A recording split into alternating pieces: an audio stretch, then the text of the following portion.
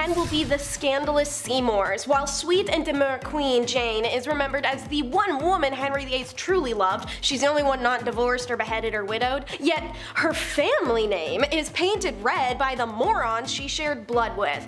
Jane's parents were Sir John Seymour and Lady Marjorie Wentworth. He was a soldier and courtier serving both Henry VII and VIII.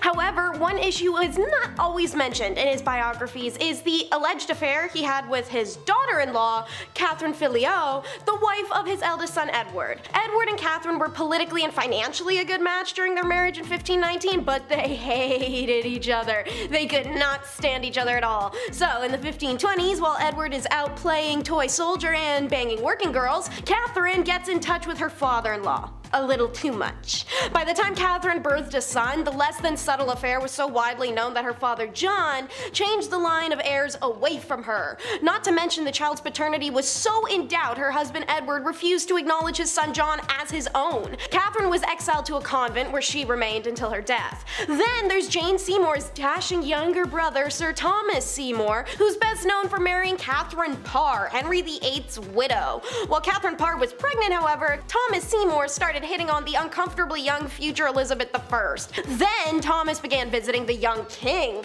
giving him candy in return for trying to schmooze power from him. What Thomas intended on the night he was discovered trying to break into the king's apartments at Hampton Court Palace was never really established, hurt, harm, or otherwise. Scholars have suggested it was an, an attempted person theft or it might have been another attempt to weirdly try and win the young king over onto his side. Either way, he was caught at the king's apartment at night trying to break in with a hand arm which he had already used to pop one of Edward's, the beloved pet spaniels, when it barked at this unexpected intruder. He was sentenced to death the next day. Queen number 9 is the Heartless Hag, aka Catherine de Medici. Maybe calling her a hag is harsh, but heartless is a title she earned. Listen girl, while it's no news to the world that Henry II of France had a lifelong affair with his mistress Diane de Poitiers, as he loved her more than he could ever love Catherine, we got sympathy for the woman. She's put in an arranged marriage, she actually loves loves him, but he never loves her and always makes her secondary to the woman he does love, despite her not having enough authority, but she kinda does, but she definitely doesn't. It's a messy situation that make any slighted woman into an emotionally numb and void machine. Now, does that excuse Henry being on his deathbed, begging and begging Catherine to just open the bedroom door and let his mistress Diane in so he can see her one last time before he dies? I don't know. Kinda. Maybe. I maybe I'm vindictive. I don't know. Catherine really did do that by the way. She barricaded herself into Henry's room while he died, while Diane tried over and over to get in to see Henry as he, bedlocked and slowly suffering, pleaded to see her in return. But Catherine never folded. However, that wasn't what made her a terrible queen. She proved herself as one of the worst queens in history when she ordered her daughter's romantic interest to be killed in front of her. Catherine took out her own suffering and pushed it onto her daughter. The way many mothers of the world, both past and present, abscond their suffering onto their daughters. She could have broken the cycle, but instead she wanted her daughter to feel the pain and lovelessness that she had. Catherine would fight over her married daughter's adulteries and affairs as she too had been forced into an unhappy arranged marriage. It said that Catherine's screams could be heard echoing throughout the palace. During one instance when the queen mother found out about her daughter's new romantic interest, she locked her up in the castle and nobody saw her again. Queen number 8 is the Pain of Spain. No one expected the Spanish Inquisition. Well, except for Queen Isabel I of Castile, the evil queen of Spain, who began the campaign to purify her country and aided in financing Christopher Columbus's famous voyage in 1492 that would end the lives of 250 million indigenous people in the New World and subsequently launch the stealing of people from Africa for forced labor.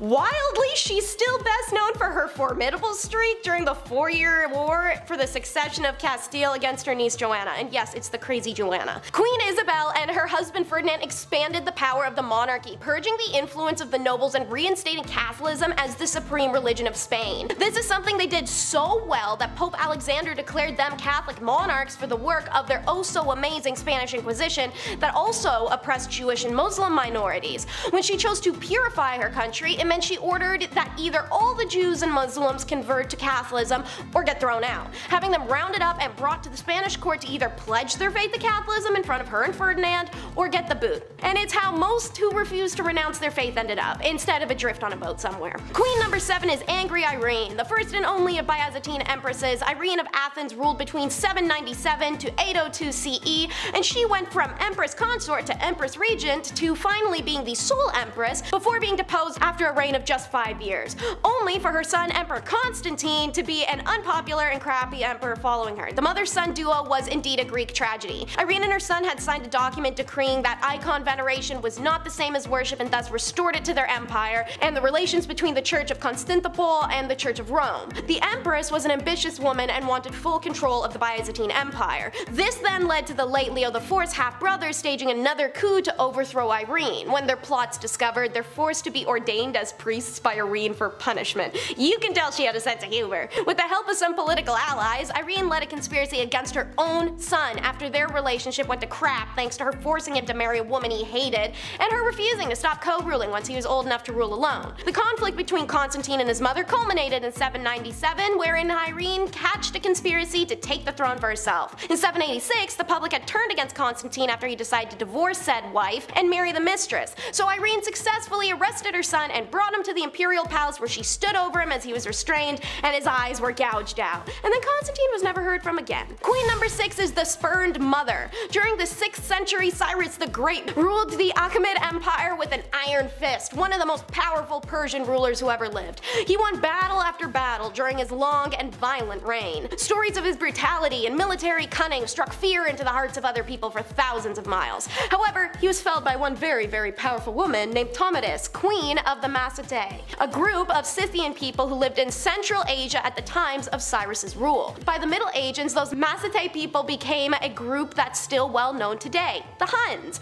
Now, at first good old Cyrus didn't view the Huns as a threat. In fact, he deemed them so worthy of the brush off that for fun one night he tripped a group of them into getting drunk when they'd never had liquor before. While they were inebriated, Cyrus's men imprisoned them. Waking up still drunk and imprisoned and having never experienced the feeling before, the men were terrified and they didn't know what kind of spell or poison they'd been given. In fact, one man gets so scared of the poison that he takes his own life lest it end it painfully. Again, Cyrus didn't think much of that crap as he considered the man to just be another nomad. But he was far from. He was Tomyris's beloved son and she was their queen. Enraged at her son's death, Tomyris sent messengers to Cyrus demanding answers and compensation. When Cyrus ignored all those requests, the grieving mother wiped her tears, took a deep breath, and decided it was time to rain literal hell on the man. Tomyris challenged the Persians to a battle, and Cyrus accepted. The Massagetae had more soldiers who were more well trained than they'd ever let on, and they were mounted on some of the largest steeds the Persians had ever seen. Cyrus was in trouble as Tomyris' men surrounded the Persians on all sides and started killing thousands. As for Cyrus himself, Tomyris personally saw to it that he was cut down by her own sword. Then she placed his severed head in a bag of blood and rode home to celebrate the victory in honor of her fallen son. Leader number 5 is Cleopatra. Everyone knows Cleopatra. There's already been so much written about it, you could drown in it. Yet, we still know next to nothing about her. But thanks to a famous smear campaign against her by, hmm, everyone in ancient times, I can list off a few not so nice details about this queen to fit more into our repulsive theme. If you want to learn more about her life, maybe check out the recent top 10 filthy secrets of Cleopatra that'll make you blush video on our channel Bumblebee. Maybe while you're at it, subscribe to the Hive if you want to see more like it. Born in 69 BCE, Cleopatra's seventh Tia was bred to be a ruler, having come from a long line of royal siblings having children together, which makes the family tree look a lot more like a family ladder when drawn on paper, just instead of like branching out roots. And apparently, sharing a bed with a cousin isn't enough, you have to share names too. About 90% of Cleopatra's family was either named Ptolemy or Cleopatra. Every now and then, a Bernice or an Arsinoe was thrown in there to give us a break. I guess it would make interfamily relations a little bit less weird and more normalized if your dad, uncle, brother, brother, half-brother, brother, a new husband slash brother all have the same name. Maybe a different Cleopatra, who famously married two of her brothers and also killed at least one of them.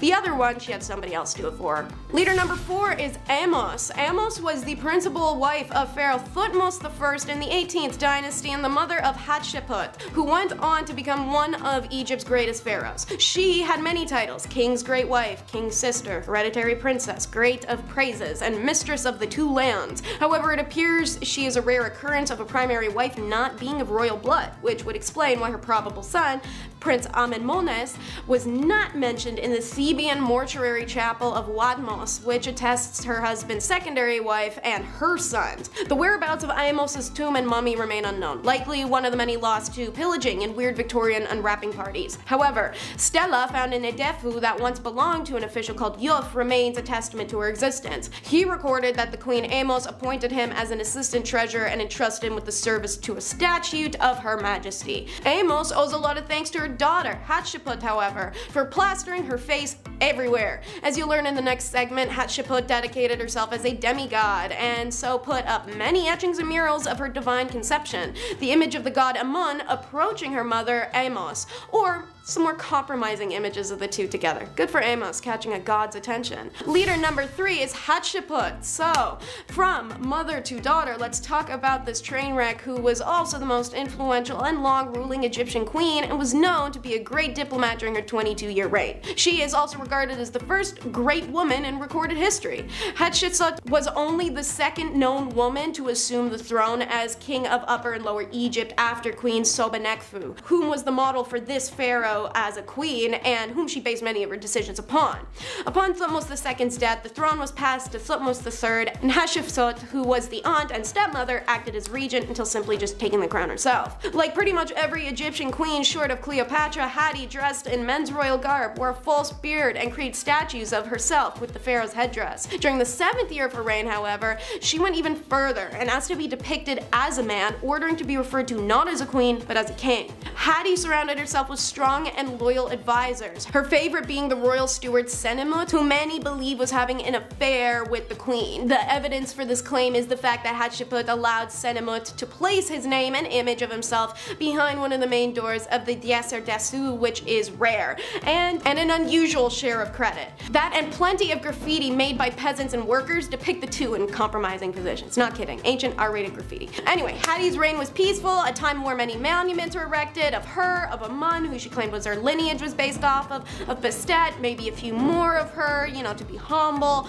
However, after her death, her successor, who was possibly even her own stepson, attempted to erase all record of her, destroyed statues, burnt documents, attempted to remove her presence from Egypt. Effort only half works, while we don't know much as we wish we could.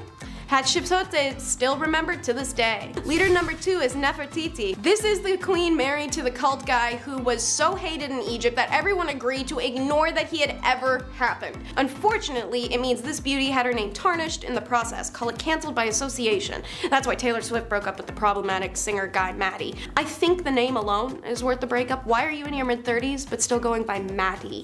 Nefertiti's name can translate to a beautiful woman has arrived and that she had, from parents unknown. We haven't figured that part out. A life-size bust of the queen was found in 1912 and is her most famous image and depiction, and it shows she really was a stunner, to the extent it's believed that ancient Egyptians revered her as a fertility goddess embodied. However, other Egyptian art depicts Nefertiti in ways normally only pharaohs are shown. For instance, she's portrayed smiting enemies, such as on a ship, raising her right hand to kill female prisoners, a depiction often seen on male pharaohs. Additionally, the type of helmet-like crown Nefertiti is wearing in the bust is typically reserved for pharaohs or the goddess Tefnut or Hathor. One idea is that after Akhenaten's death, Nefertiti's power and popularity was so great she was able to rule as pharaoh in her own right. Egyptian records mention a figure named Neferneferuaten, who ruled Egypt for a brief time. Like how actors took stage names, pharaohs actually took throne names and it's speculated this was the throne name for Nefertiti. This means our girl was on the throne for three years, but as you know, after her reign, the Egyptian people tried to wash her away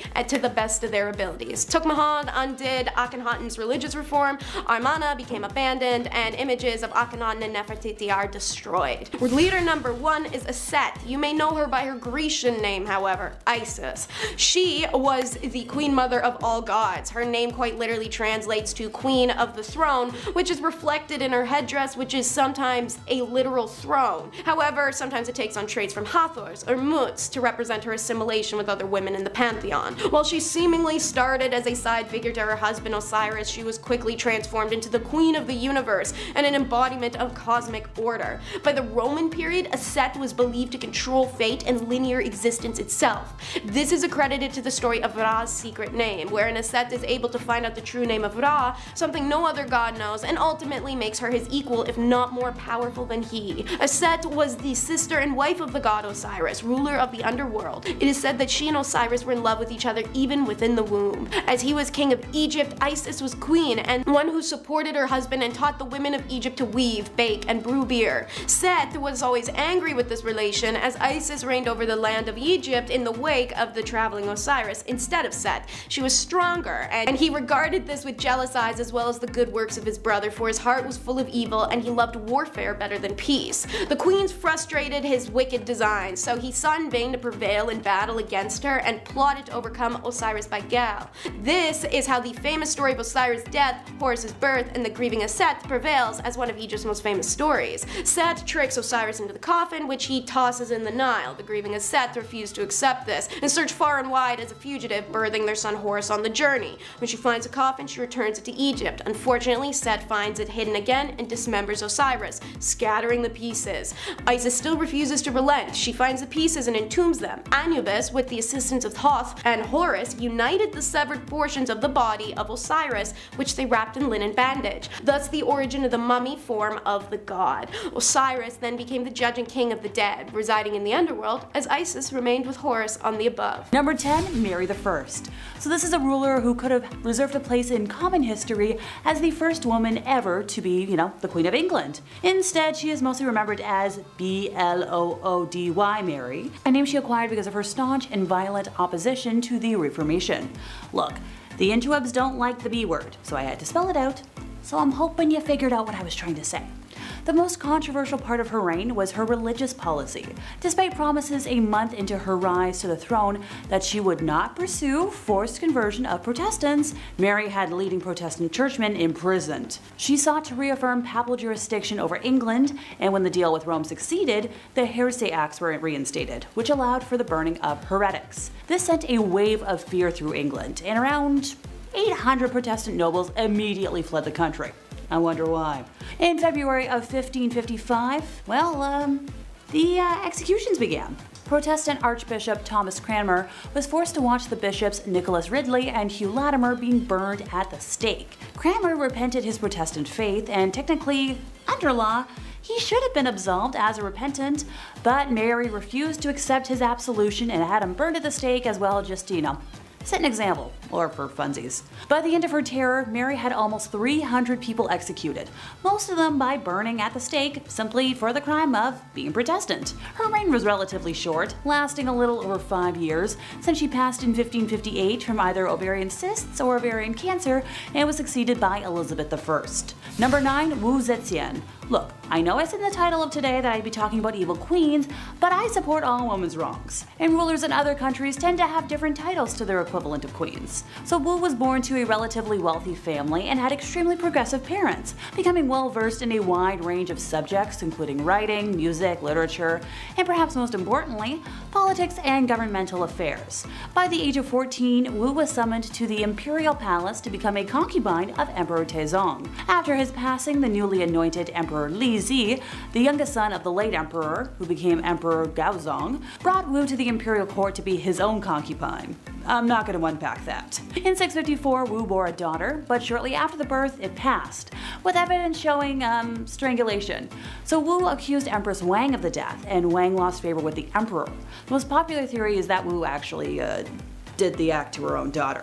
So thereafter, the emperor conferred with his chancellors and despite opposition, demoted Wang, having her imprisoned, and promoted Wu to empress. Later on, the emperor considered having Wang released, but Wu had her executed upon hearing this, because, you know, can't have any witnesses. Upon her accession to the throne, Wu began targeting officials who had opposed her rise to power, having them arrested and imprisoned, exiled, forced to take their own lives, or executed. In 664, she accused several officials of witchcraft and had them uh, executed as well, and their families became slaves within the imperial palace. In another incident, she killed her niece with poison, accused two others of the death, and executed them. She eventually passed after repeated bouts with illness, so nothing nefarious there. Number 8. Isabella of Castile. So when Isabella was born on the 22nd of April in 1451, there was little chance she would ever become monarch of Castile, as she was very far removed from the direct royal lineage. War, politics, and subterfuge intervened, however, and for many years, the Kingdom of Spain was in turmoil, suffering from civil wars and uh, a lot of chaos. To quell one of the rebellions, the hand of Isabella was promised to the commoner, Pedro Duran Acuna Pacheco, but on his way to her, he suddenly fell ill and, um, passed. Now, this immensely fortuitous event for Isabella cemented her devotion to her faith, since she didn't exactly want to marry a commoner and prayed for divine intervention. Her marriage to Ferdinand, heir to the thrones of Castile and Aragon, cemented her future power. After the death of the King of Castile, the throne was given to Isabella. Her cruelty is recognized in the treatment of non-Christians, which led to the formation of the Spanish Inquisition, known for its extreme brutality and torture of mostly Jewish and Muslim folks. Isabella waged war on the Kingdom of Granada, the last Muslim kingdom in Spain, and the last piece to fall in the Spanish Reconquista. While some may see it as the liberation of Spain, for many others it was open genocide. By the time Granada was annexed, 100,000 Muslims were either dead or enslaved. Number 7. Catherine de' Medici. I'm chuckling, but I'm glad my obsession with Reign in high school is about to come in handy. So serving as the Queen of France from 1547 to 1559, Catherine had enormous political sway over her sons, the French kings Francis II, Charles IX, and Henry III. They reigned through the French wars of religion and faced problems with a group of Calvinist Protestants called the Huguenots. It is widely believed by historians that Catherine attempted to have their leader, Gaspard II de Coligny, uh, assassinated. The attempt failed, and fearing retaliation from the most powerful folks in power, Catherine planned to kill them all before they could take action. The result was the St. Bartholomew's Day Massacre, which resulted in the deaths of between, oh, 5,000 to 30,000 Huguenots. Number 6. Lady Elizabeth Bathory. Born in 1560 on a family estate in royal Hungary, Elizabeth was of noble lineage and privileged with education, wealth, and a lofty social rank. Her first taste of the morbidly bizarre was introduced to her during the early years of her life when she suffered seizures which might have been epilepsy.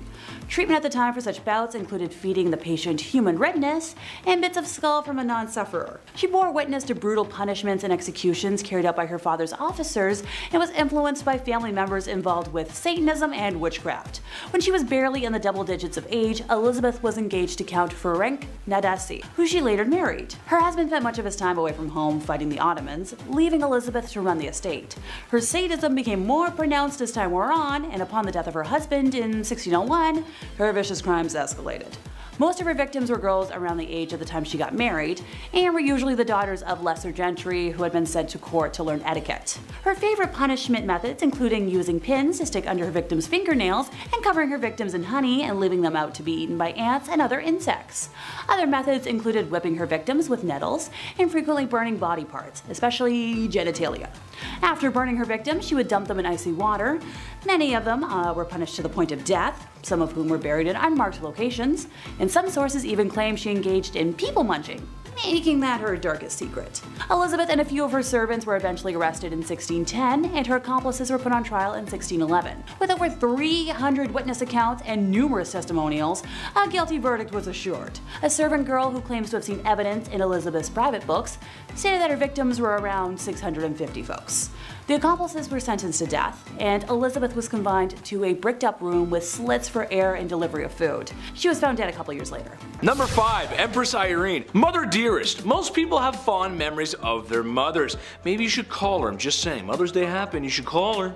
Empress Irene was a woman who wanted power. Honestly, who doesn't? We've all got a little bit of Sith in us. Yes. Her son, who had naturally inherited some of her power, was growing stronger by the day. Now, maybe it was ego. Maybe it was envy. Maybe her son just took down her live, laugh, love signs. I'm not sure. But Irene was not having any of it. So, when her son least expected it, she had two guards apprehend him and had his eyes gouged out. Now, being that this was before 2022, this was a critical medical injury, and after 9 days of grueling pain, and when I'm sure was a lot of blind confusion, the injury proved to be fatal. So what's the lesson here? Uh, blood is not as thick as water. Ah, I don't really know. It's just messed up. Number four, Queen of Castile. Life can be tough sometimes, especially when we lose the ones we love the most. Everybody deals with things differently. The Queen of Castile is a person who deals with that, well, very differently. People passing on was no rare occurrence back in those days. There's a thousand reasons on how you could wind up six feet under. When the Queen of Castile's husband passed away from the disease of the month, she was devastated. Rightfully so. That's rough. However, that being said, sometimes you gotta take that with a little grace. For days, she would not leave her husband's side, even after he was a cold cadaver. Later on, that corpse would travel with her, apparently even stopping a carriage once to get out and kiss his feet. It's Weekend at Bernie's, except a lot sadder and gross. And uh, not a charming 80s movie. Ugh. Number 3. Carlotta of Mexico. This is a new one for me, but an interesting story nonetheless. Basically, France wanted a piece of Mexico, and I mean, come on, who doesn't? It's gorgeous. Carlotta was a Belgian princess who kinda just married into the royal family and got plopped down in some chaos in Mexico. There was a war, enough political strife, to make anyone involved in the Watergate scandal start to look for documents. It was messy, it wasn't a good time. It got so bad that she had to go back to Europe and basically made the call that all university students have to make after Frosh Week. Hey mom, uh, dad, uh, listen, um, yeah, I'm, I'm great. Uh, do you think maybe, um, you could send me some money? Yeah, I, I need some help. Except her phone call wasn't like that. Her phone call was more like, hey, European nobility, uh, can you come please save my husband because he's about to get de-lifed and like stabilize the country? Thanks. Spoiled princess calling. Hi. It didn't work out in the end. He got de-lifed, she went back home, and uh, well, she went a little crazy. Number 2. Elizabeth Bathory. Serial D-lifers, your queen has arrived. I think this one is one of the more interesting cases in history. Usually when you think of a creepy D-lifer that lurk in the night, you think of Gacy, Dahmer, you know, guys like that. It's not very often that it's a woman and or someone from before the 19th or 20th century. That's just how it goes. I'd also argue perishing and manual D-lifing was a part of life back in medieval times, so kinda hard to quantify what is and isn't a serial D-lifer or life taker. However, I think she counts. The body count is estimated to be somewhere in the hundreds, and a most peculiar rumor is that she bathed in the blood of her victims. Ooh, that's gross. Bathing in water. That checks out. Bathing in mud. You go to a spa. That checks out too. Bathing in beer. Sticky and strange, but check. I've done it. Uh-huh. I One time I did that. Bathing in blood. Hmm, that's a no calzone for me, chief. While the bathing in blood thing might be false, the evidence of her crimes uh, were not. Imagine being so spoiled you can hide bodies. Mm. Number 1. Queen Mary. Henry VIII was a big bad dude who wanted it his way. He wasn't the Burger King, although by looking at him you could tell he was uh, packing a few of those bad boys away too. No, he was the king of England and he had many wives and was spoiled himself. So, do you think his children grew up humble and wise? Nay, kind sir and madam. Queen Mary took the throne a few years later and wasn't happy with the Protestants. Ugh, too many she said to herself. Well, if you've heard us talk about her before, she'll probably come up again time and time again because, well, she cooked those people on a wooden stake. Over her reign, countless people felt the fires of her wrath, hence the name Bloody Mary. Number 10. Queen of hating her daughter. Starting off this list with a bang would have to be the utterly despicable Maria Eleonora of Brandenburg, the Queen of Sweden. Queen Maria here seems to be guilty of the crime of attempted delifing. That's a pretty crazy thing for a queen, but it gets even crazier when you find out it was her own daughter who she tried to do this to. For some reason, when the queen gave birth to her daughter, who she wanted to be a son, she instantly thought of her sweet, innocent little daughter as a dark and ugly monster with black eyes. Gotta love coming into this world and being hated purely for existing. As she saw her as a monster, Maria tried to have her daughter dispatched multiple times and I don't know what this crime would be called, but she even forced her daughter to sleep next to the rotting corpse of her own father. Maybe that's the true crime here, because this is messed up. Number 9. Don't mess with the Empress. The only powerful female emperor in the history of China has got to make you extremely ruthless, simply because you are a target and you would have needed to work to get to where you are. And you know what? Wu Zetian, who ruled during China's Tang dynasty, was quite ruthless. She took her position of power by force, and she slayed many people in order to do so. But she didn't stop there. She committed more acts of slaying throughout her rule as well, And I don't mean like slay queen, although that does really work for this list, but no, she slayed people. And we don't support that kind of criminal behavior, even if you are above the law. To make matters worse though, it is reported that even her mother and grandchildren fell onto that list of victims, all because they were against her. Truly a ruthless queen. Number 8. Mommy Issues Empress Irene of Athens ruled between 797 to 802, and she co-ruled with her son for two decades before leaving it all by herself. That's not a crime. But how she did so was a bit more, mm, I don't know, just a little outside the realm of legality by today's standards.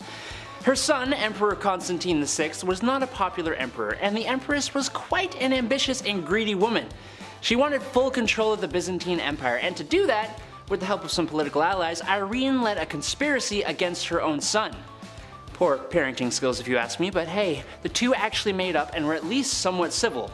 That is until Constantine divorced his wife and married his mistress, turning the people against him and giving Irene the opportunity to lead another conspiracy and then have her son's eyes gouged out. Yay! Number 7. Ranavalona. I honestly didn't know Madagascar had queens or kings. That's not because it doesn't make sense, I, am just, I'm just dumb. Thanks to me being a young child, I thought the only royalty Madagascar had was King Julien, you know, like the lemur. King Julien! Like that, that King Julien. Um, but they did have kings and queens, and one of these queens was pretty damn brutal. Queen Ranavalona I ruled Madagascar between 1828 and 1861, and there is absolutely no doubt that she would do anything for her kingdom. After King Radama I, her husband, passed away, she took over the crown, and during her reign, she put a lot of people to the axe, or whatever way they executed people in Madagascar. Her uncle was one who met the sticky end to protect her power. But some records state that Ranavalona ended her own mother's life by subjecting her to starvation. Ranavalona sent her mom to her room and didn't let her have dinner. Or any meals, really. That's never okay, and would get someone like us charged under the law with something. I don't know what exactly would be, but it'd be something. Number 6. Pretty firmly against cheating. Not to be weird, but I can kind of see where this queen is coming from. At first, at first, I sort of get it, but not later on, just at first. Henry II of France had a lifelong affair with his mistress, Diane de Poitiers. And even while on his deathbed, he begged his own wife, Queen Catherine de Medici, to allow him to see her. Kind of really disrespectful to your wife, but I guess he loved his mistress too. I, mm, I'm kind of confused on the morals of this. However, the queen was not confused on the morals and didn't give in to his plea. In fact, she even denied Diane entry into the room, letting the king pass away without having his dying wish granted. Damn. That ain't a crime. This queen had a daughter who took after her dear old dad when it came to the whole monogamous relationships, meaning she didn't really have them.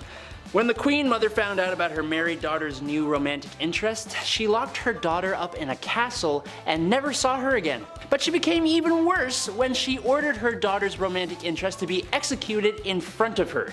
Now that is rough. And while she didn't do the deed herself, giving the order is kinda bad enough. It gets worse. Her son, King Henry, didn't like that she cruelly did this to her own daughter, so she had him dispatched as well. My goodness. Number 5. Tomyris. Honestly, every time I face her in Civilization 6, it just ends badly. I'll spend a few turns building my economy or maybe organizing some troops and I look back over at her cities and she's already amassed a massive army and is ahead in science.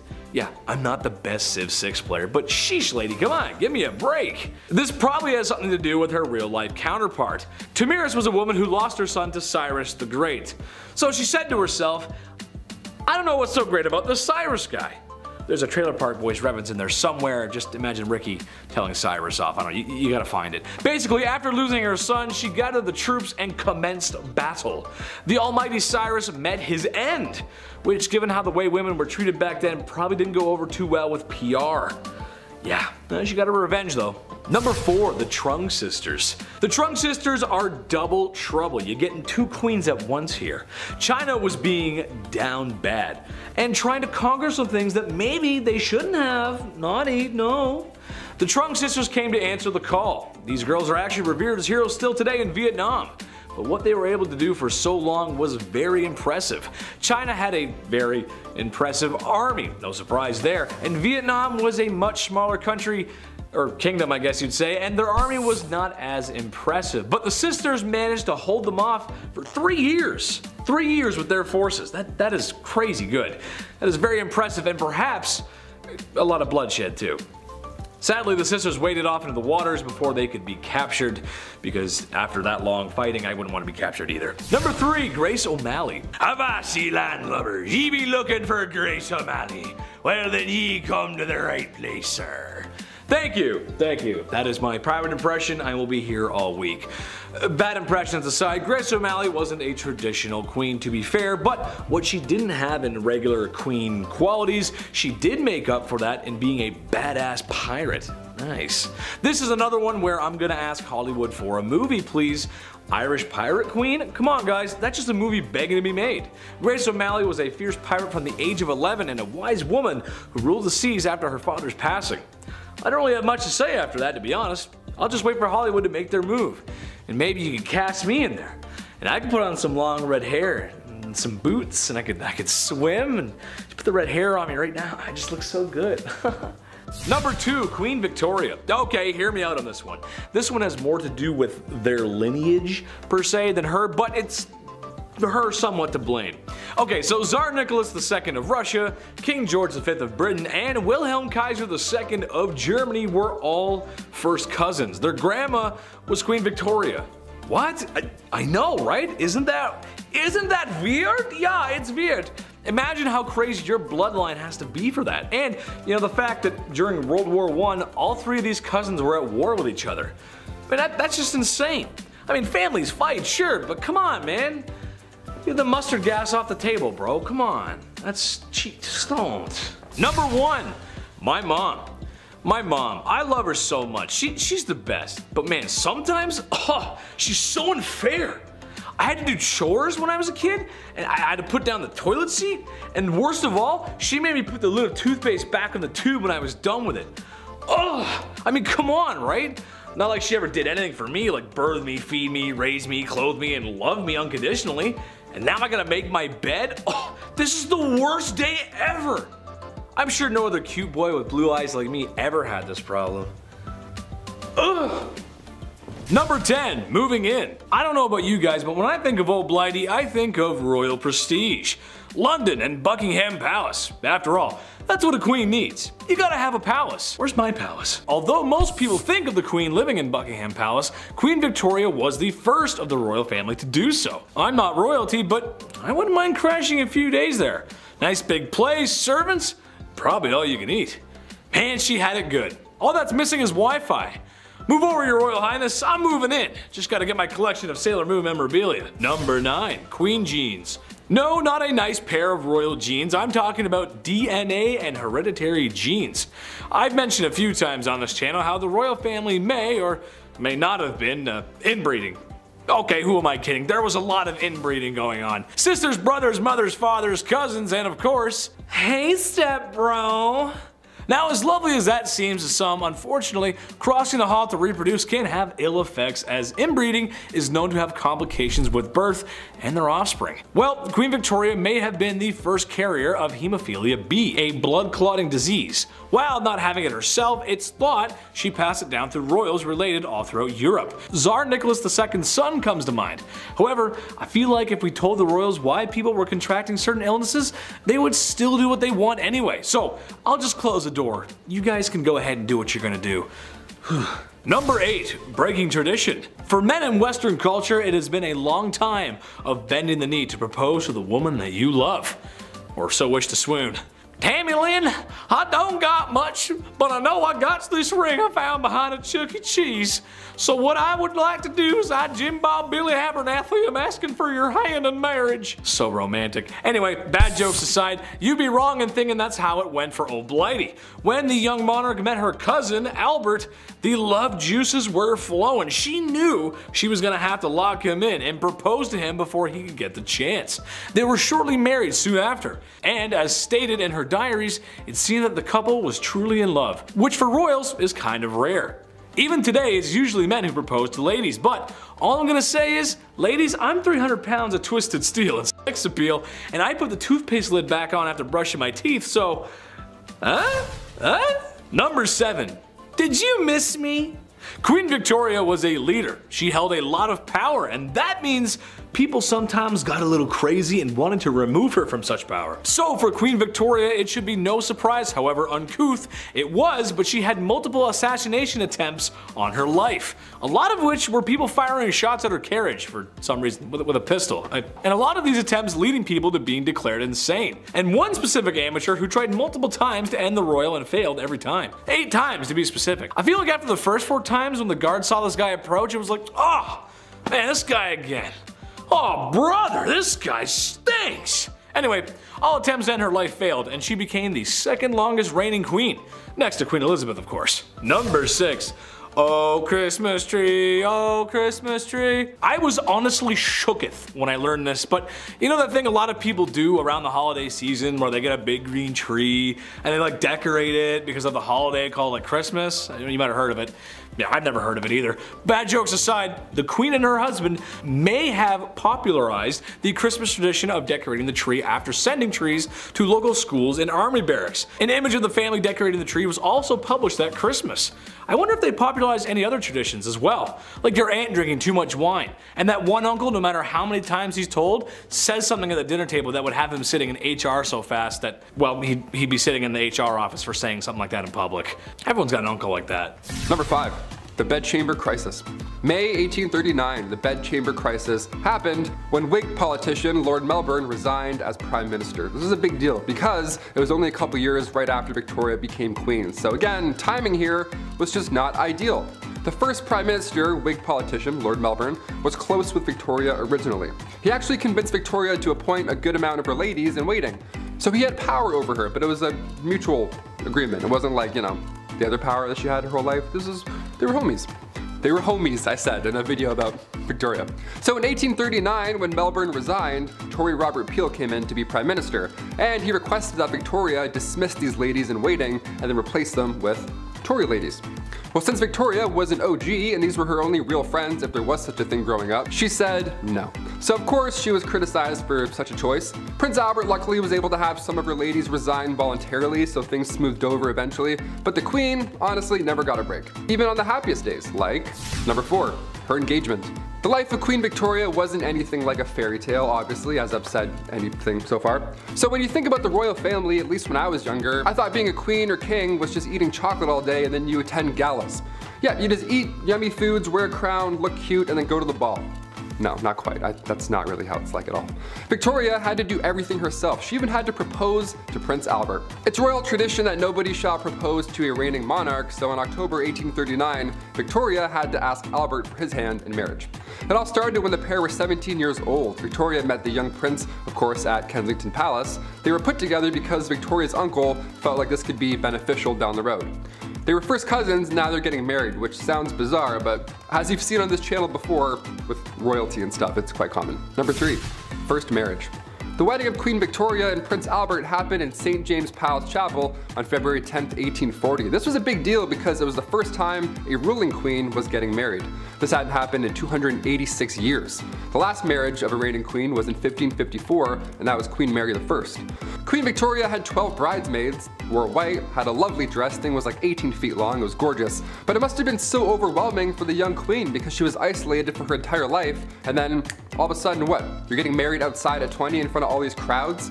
After the wedding, Queen Victoria's head was hurting. It was probably so stressful, but she still had the time of her life. She wrote this in her diary after her wedding. She wrote, I never, never spent such an evening. My dearest, dearest, dear Albert. His excessive love and affection gave me feelings of heavenly love and happiness I never could have hoped to have felt before. He clasped me in his arms and we kissed each other again and again. His beauty, his sweetness, and gentleness, really how can I ever be thankful enough to have such a husband? To be called by names of tenderness I've never yet heard used to me before was bliss beyond belief. Oh, this was the happiest day of my life. Yeah, when you're locked up and you have a horrible duchess watching your every move, this day probably sounds like a nice break. A well-deserved break, I'd say. Eat all the cake you can have. Number 2. Attacks. Being the queen and all, a security team is always needed. And during her reign, there were multiple attempts to harm the young queen. The first attack was back in 1840. An 18-year-old man named Edward Oxford fired towards the Queen's carriage. When Edward was accused of high treason, he was actually found not guilty due to insanity. A couple years later, in 1842, it happened again. This time, two men fired at her. In 1849, her carriage was attacked by William Hamilton. In 1850, as the carriage was passing the gates of Buckingham Palace, Robert Pate, a retired soldier, ran up and hit her with his cane. Victoria was okay, luckily, but of course she was shook. And then again in 1842, 1849, and 1872, attempt after attempt after attempt. But at one point, things were creepy and almost worse. Number one, Boy Jones. If you haven't heard of Boy Jones or anything that happened here at all, I saved it for last because it's very creepy. It's mind-blowing in a horrible way. A teenager stalked the Queen back in 1838 until 1841. His name was Edward Jones. This guy somehow managed to break into Buckingham Palace more than once. Just some Assassin's Creed going on here. Guy just knows a route, I guess. That's so scary. He would break in and he would hide under the Queen's sofa. He would sit on her throne and, one of the worst things ever, he would go through her drawers figuratively and literally. Like he would go and he would steal her clothes until eventually and thankfully the guy got caught. Number one is context on the missing queens. Lexi de los Santos, a Nat Geographic promoter, perfectly describes the treatment of Egyptian queens. Out of all the ancient civilizations, Egypt was the only one that really valued women, but after their rule, male leaders just erased all memory of these women because they didn't want them to have all that success. But why would ancient men in a culture that respected and revered women still strike them off the record in a fit of primal jealousy when they've been regal? It was best explained in the recent Bumblebee video, Top 10 Messed Up Things That Happened to Women in Ancient Egypt. It's the blame game. In ancient Egypt, pharaohs were supposed to be the human incarnate of the gods, but one thing that the male gods, female gods, and human females all had in common was the truest power, the womb. The ability to create and birth life, Ra's greatest creation. All of mankind came from Ra, the king god, yet any man who sat on the throne as pharaoh, meant to be the incarnate of Ra, was missing that one true power. So what that meant is anytime a female pharaoh took the throne, she was more akin to the king god by the Egyptians' own definition than the male pharaoh ever could be.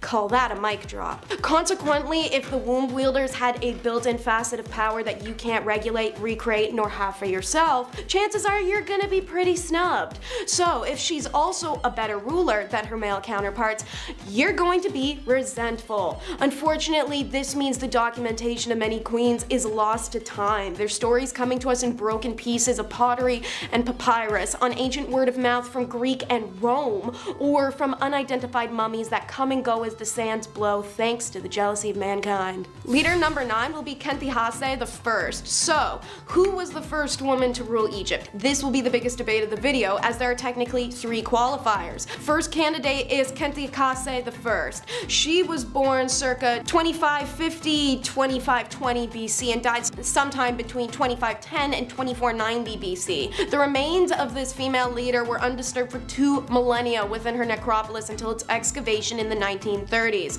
And since its discovery at Giza, her tomb has intrigued historians and archaeologists alike.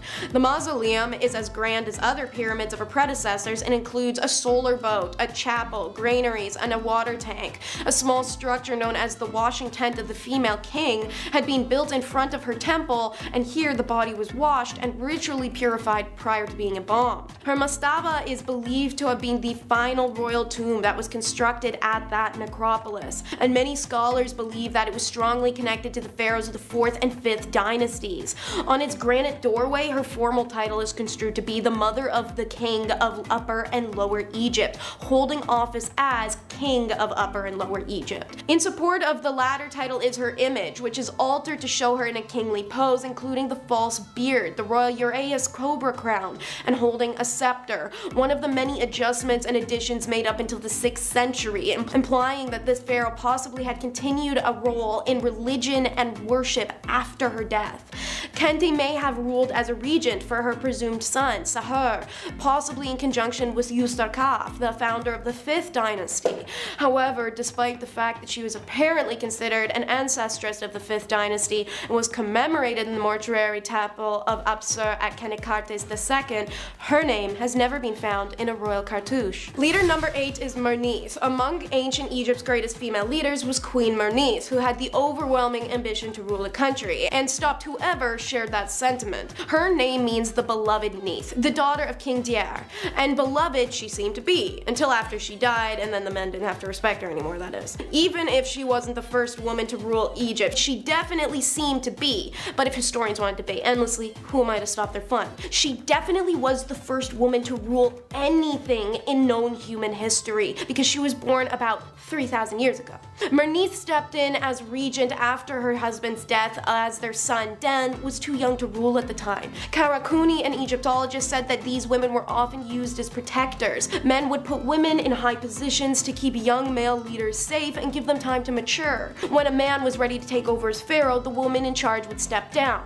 But Bernice was Old Kingdom Egypt, and when she assumed this tutelage, it was in despite of what religious traditions of the first dynasty decreed that only men were to rule. Despite that, Merneith stood rigidly by her son for a full decade, from 2939 to 2929 BC, until he became one of the most prominent kings of Old Kingdom Egypt. Despite the fact that there are few records of her name in any tombs, her accomplishments and life, she's still believed to have been a figure of great power and simultaneously respected and despised. Either way, she's one of those pharaohs that was buried alongside 50 live servants. Leader number 7 is Nitocris. The third and most mysterious candidate for the first female king of Egypt is recorded many centuries later in the work of the Egyptian historian Manetho. Her name is Nitocris, and she was believed to have lived around the 22nd century BC, which was towards the end of the 6th dynasty. Some have suggested that Nitocris was the last pharaoh of this dynasty. As Manetho tells us, she built the third pyramid and reigned for 12 years, but the whole third pyramid thing is an absolute disaster if you know anything about ancient Egypt. There's just so much BS around the kings list and the dynasties. We don't know who made it, and every time we think we do, someone else shows up in history and has it attributed to them. So, it's up in the air.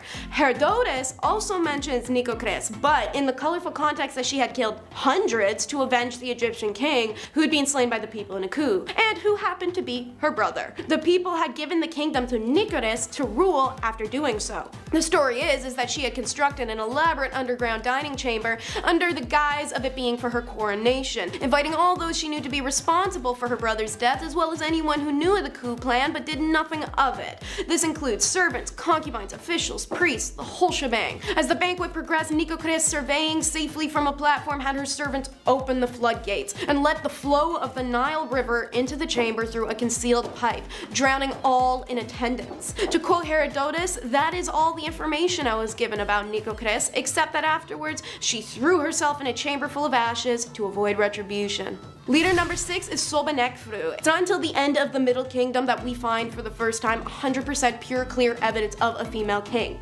So, her name was Sobekneferu and there are about 5 variations of her name, all harder to say than the last. However, the name Sobekneferu means the beauties of Sobek in reference to the crocodile god, one that the rulers of the 12th dynasty established a religious and economic center in Fayum for, where crocodiles were nurtured and worshipped. Queen Sobekneferu rose to power after the death of her brother slash husband Amenemhat IV, which made her the 8th ruler of Egypt's 12th dynasty, and she went on to rule for nearly 4 years. That was a lot of numbers in one sentence, so I hope you're keeping up. Though missing her head in many, the queen statues found in Fayum show that she appeared to combine masculine and feminine aspects of regal dress, similar to many other female rulers of Egypt. She is the last ruler prior to the New Kingdom to appear in the offering list found at Abydos and Saqqara, which does suggest some kind of posthumous verdict that separates her from the kings who followed her with equally short reigns. How Sobekneferu died or where she was buried remains a mystery. Some have suggested that her burial might be in one of the pyramids at Mazghuna, but this is very unlikely, as is Amenemhat's labyrinth or Herakleopolis, both of which she contributed to. Thus, one of the most powerful women of the early world history remains a mystery. Queen number 5 is the maniacal mind. Fredegonde of Neustria began her life as a forced laborer in the early 500s, but all that labor made her strong because she sure as hell knew how to climb a social ladder.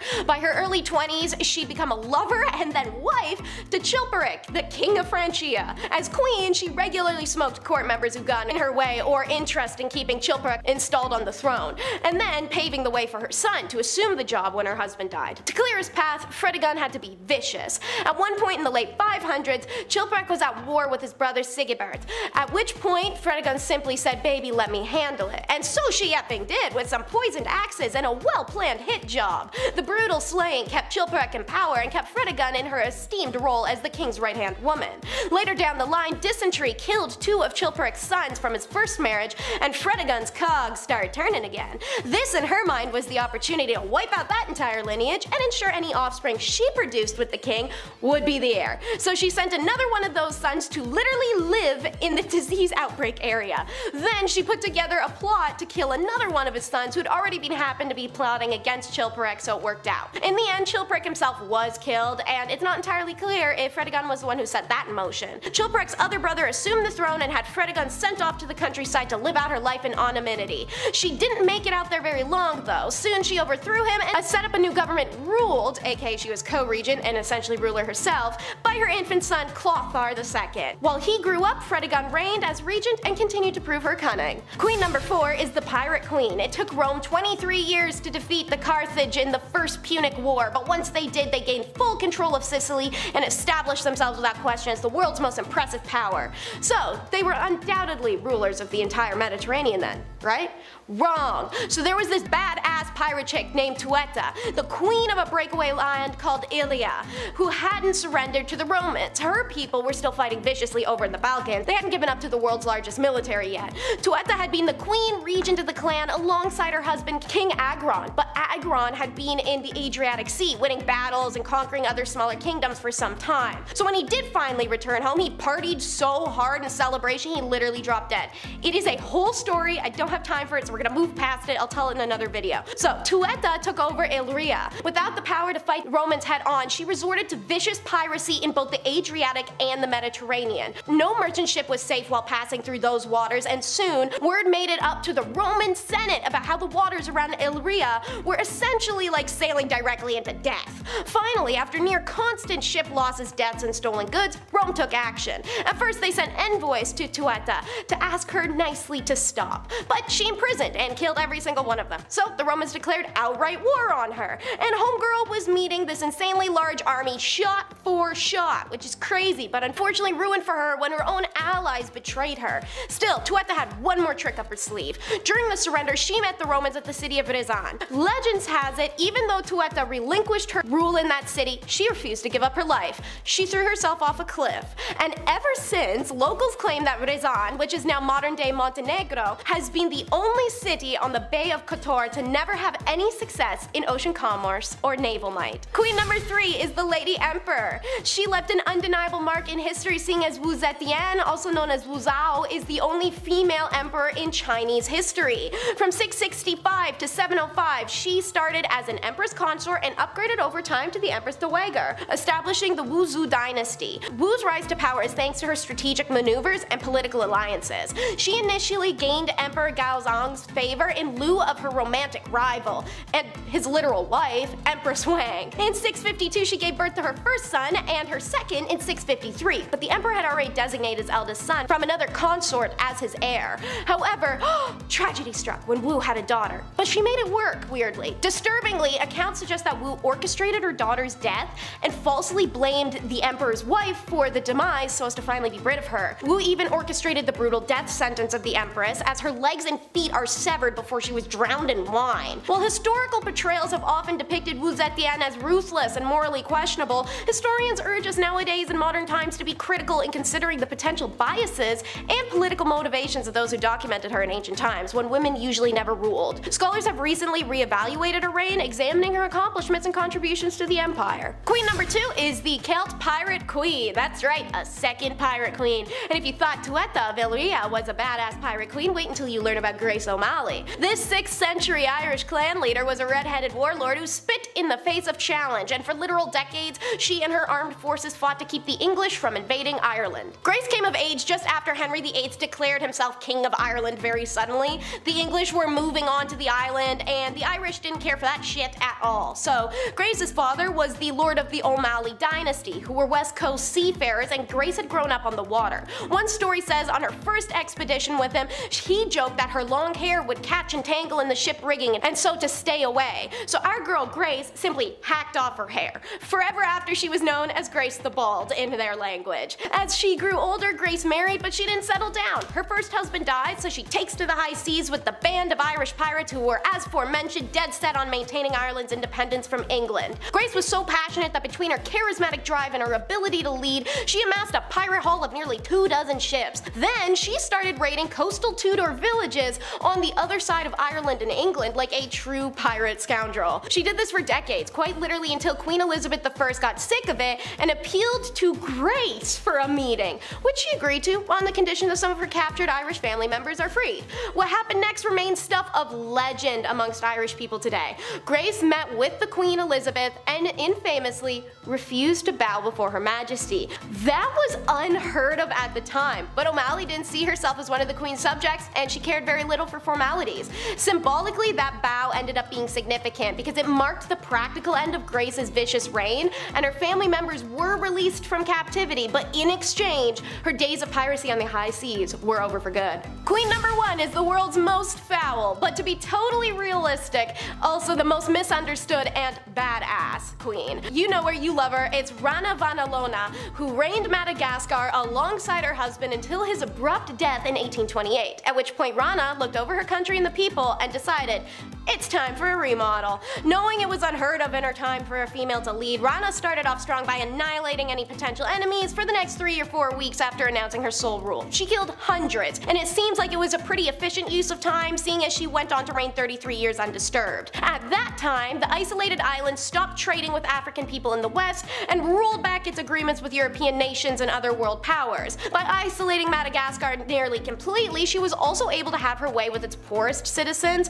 exploiting the island's long-standing practice called Fanompoana, in which poor Malagasy people or criminals perform manual labor to settle unpaid debts and taxes. The results were brutal for these people, with many dying from hunger and awful living conditions. Then, in the 1850s, she specifically banned Christianity from being practiced in her homeland to preserve the cultural values and deter colonization on the island. Many protested, but she didn't care for their dissent, and those who didn't hold their tongue lost it, or even faced trial by ordeal. Her preferred method of judge and jury she would lace pieces of chicken skin with tangena tree poison. Then those critics had to eat the poisoned chicken raw and vomit it back up. If they survived the ingestion and regurgitation, it proved they were loyal to her. If they died, that proved they had been secretly disloyal and their deaths were warranted.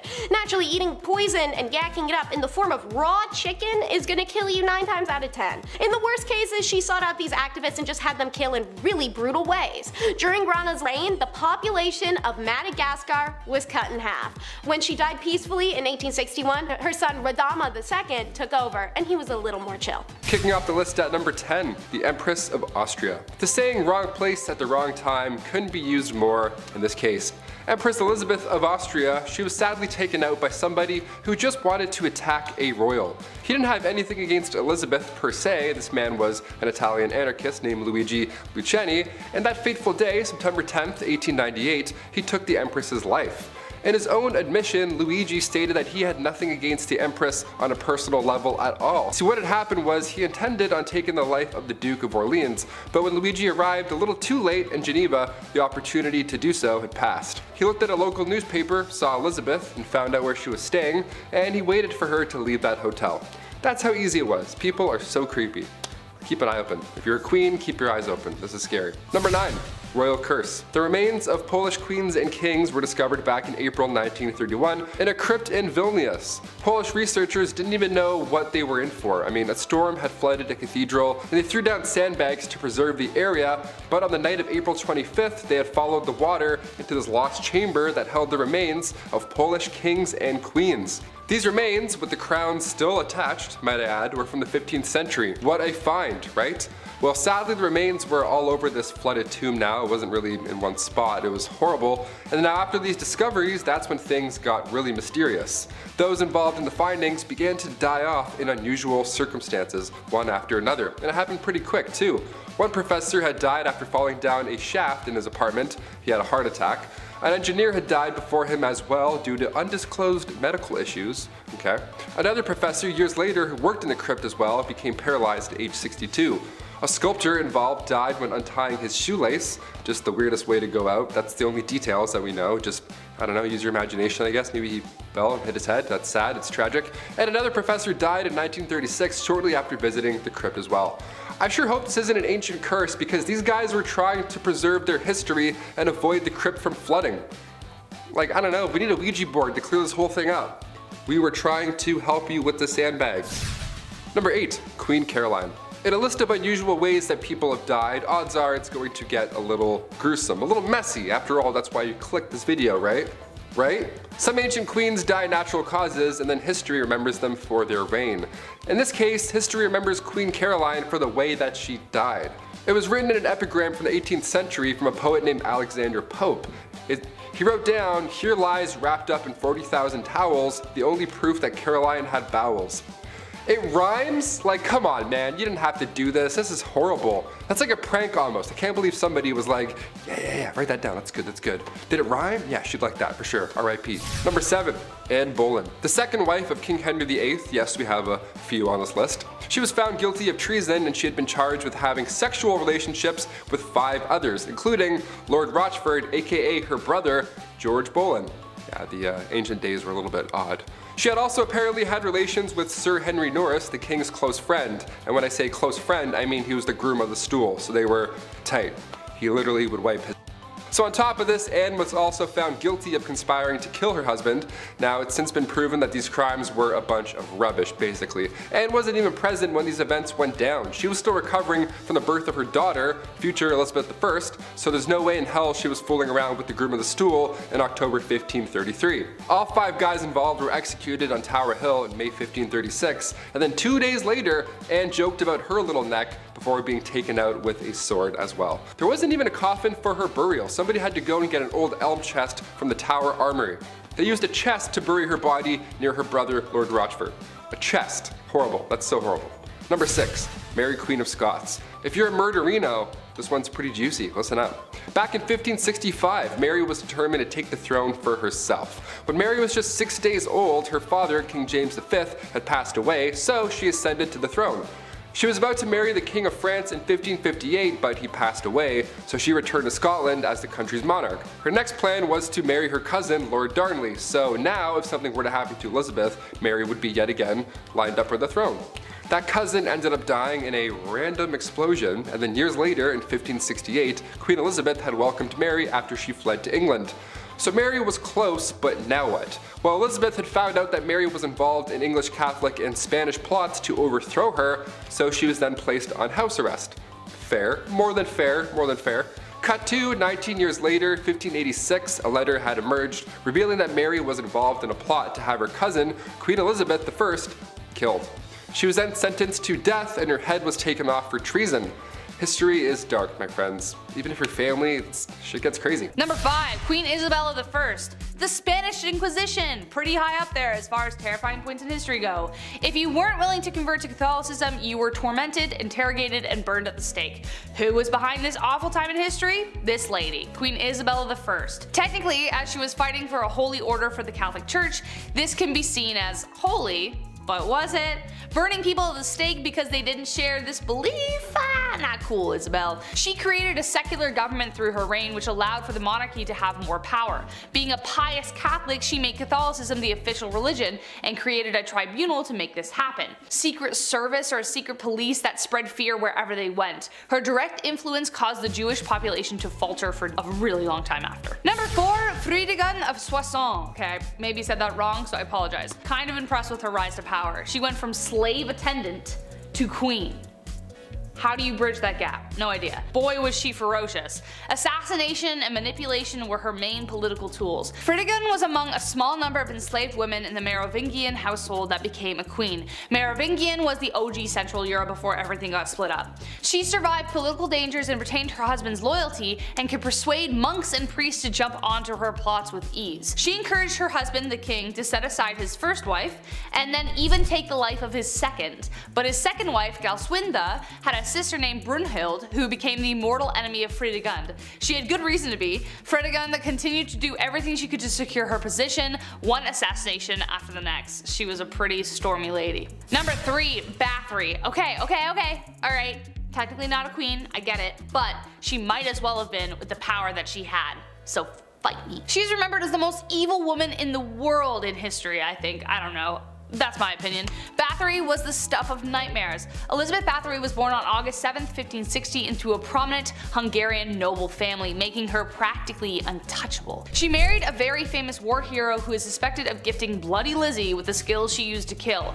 After she died, Bathory became obsessed with immortality. Supposedly when one of her servants accidentally spilt blood on her and her skin appeared younger after. Bathory then began her mission of horror, luring over 650 young young virgin women to her palace and brutally taking their lives. She was even bold enough to lure daughters of nobility. Before draining them of their blood, she would make them suffer in ways you don't even want to imagine before bathing in the blood itself. When she was finally caught, three of her servants were executed but she was simply locked away in her tower for the rest of her days on house arrest.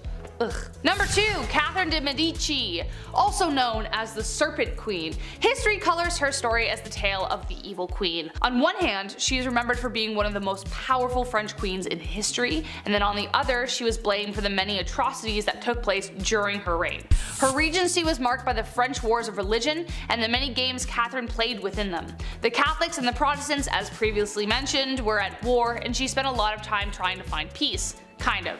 But she was a passionate Catholic and is believed to have tried to remove a Protestant general from her son's side. When he survived the attack, she lied and convinced her son that the Protestants were responsible so she scapegoated them. So he authorized taking the lives of their leaders. Enter St. Bartholomew's Massacre. Catherine implicated the general which resulted in him being the first to be beaten and then tossed out of his own bedroom window. An estimated 3,000 French Protestants were taken out in Paris, but the total countrywide was around 70,000. And last but not least, Bloody Mary, actually known as Queen Mary I of England, so no, I'm not talking about the girl you say in the mirror three times so that she appears and you're like, wow, I'm haunted forever.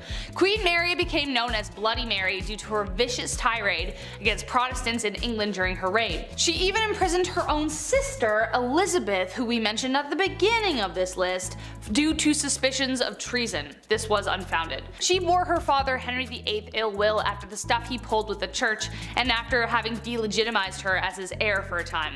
After Mary took the throne and married the Catholic King of Spain, she began carrying out her plan for England to become Catholic once again. In 1555, she revived England's heresy laws and began burning offenders at the stake, starting with her father's longtime advisor, Thomas Cranmer, the Archbishop of Canterbury. She burned over 300 convicted heretics, most of them being common citizens, and dozens more died in prison, hence giving her the name of Bloody Mary. Kicking off the list at number 10, Heart of Glass. Alexandra of Bavaria, the royal who believed she had swallowed a grand piano made of glass.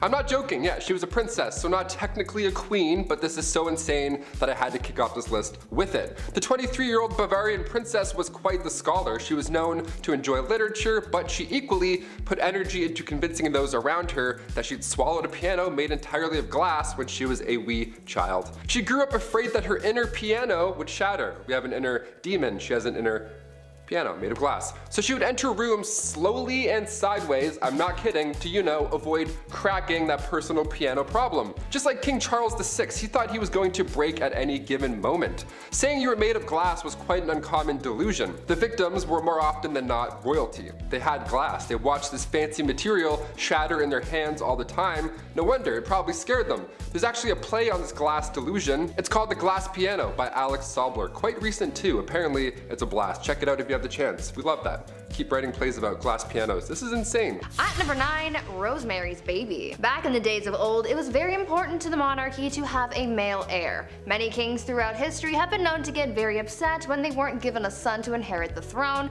and they put a lot of pressure on their wives to give them a boy. Why? I don't know. Boys kinda stuck. Anyway, this probably drove a lot of people crazy, but there is at least one confirmed case of crazy baby fever from Maria Eleonora. She kept trying to have a baby, but when she finally got pregnant, everyone was hoping for a boy. Unfortunately, the odds weren't in her favor and she gave birth to a little girl instead. People knew that Maria would get absolutely triggered upon learning of her baby's gender, so they kept it a secret from her as long as they could, but eventually they had to tell her and Maria was pissed. She really went looking for that receipt to return that baby and get a refund or at least a store credit. When she found out the baby was a girl, the queen reacted by saying quote, Instead of a son, I am given a daughter, dark and ugly with a great nose and black eyes. Take her from me, I will not have such a monster. End quote. Like damn, tell her how you really feel. After that, mysterious things started happening to this baby like a wooden beam mysteriously falling into the baby's crib and somehow accidentally falling down the stairs. Even the nurse once dropped the poor kid onto the stone floor. Like I get it, you're disappointed, but that's still your kid and a lot of people aren't given that privilege so be grateful for your spawn. Number 8. Dirty talk. Going back to the 15th century to Queen Isabella of Spain, now it's not uncommon for queens to brag, be it about their wealth, status, their mans, you name it. But to brag that you've only bathed twice in your life, that's a bit odd. What's the deal with this? Okay, well back in 537 AD, Rome had 11 aqueducts that ran over about a thousand public fountains, okay? Over 900 bathhouses included. It was quite important, but when invading Goths cut them off, the Catholic Church literally had no idea how to fix the problem. So instead, they just told everybody that bathing was a sin only practiced by pagans. So at one point in history, you could have ran a bath, thrown in a bath bomb, relaxed for an hour, got out, and then immediately you're a sinner. Worst of the worst, too. How dare you? Having a bath on Monday afternoon, you monster, you pagan monster. The Old Spice guy would have rocked their world. At number 7, Mother Knows Best. I think after hearing about these queens who've done some dark things to get their way, you would think that it's safe to say you don't mess with a woman and her plight for power. Unless you want to end up 6 feet under, that is. One Roman Empress, Julia Agrippina of Rome, was pretty spoiled already. She lived a lavish life, her husband was the emperor, and she had a family. But that just wasn't enough for her, and she wanted it all. Julia was quite ambitious and she spent most of her early life trying to dethrone her predecessors. She believed that she and her son had a claim to the Roman throne by birthright and so she bamboozled her way into royalty by tricking her uncle Claudius into changing Roman law so that they could get married. Ew. Suddenly though, after they got married and she became empress, Claudius died and most people think that Julia had something to do with it. That's likely the case. She and her son Nero went on to rule Rome from 49 to 54 CE. Julia stayed by her son's side for as long as she could so that she could hold on to her power, but eventually Nero got tired of his mother manipulating him and he had her forced out of power. Julia, as you could imagine, was furious because power was the one thing in the world that she desired most, and so she rallied a group of supporters to try and overthrow her son, but the plans backfired and she was expelled instead. Talk about ambition getting the best of you. Number 6.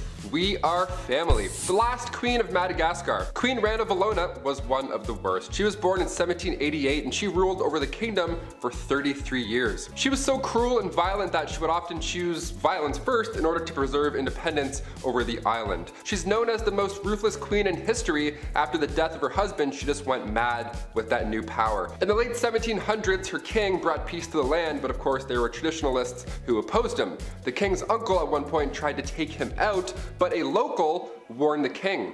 That king repaid the local by adopting his daughter, Ranavalona, to marry his son, Prince Radama. Now, when her prince was alive, they didn't get along at all. And then come 1810, the king passed away, giving Ranilova the promotion of a lifetime.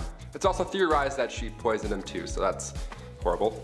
Ranilova kept away the advances of the French and the British and left bodies of those who tried to attack out for display on the beach. Lovely, like bobbleheads. In 1845, Queen Ranavalona ordered 50,000 subjects to build roads across the jungle for four months straight for this massive buffalo hunt. Well, 10,000 of those poor souls died of starvation and exhaustion, and also not one buffalo was hunted, nor seen.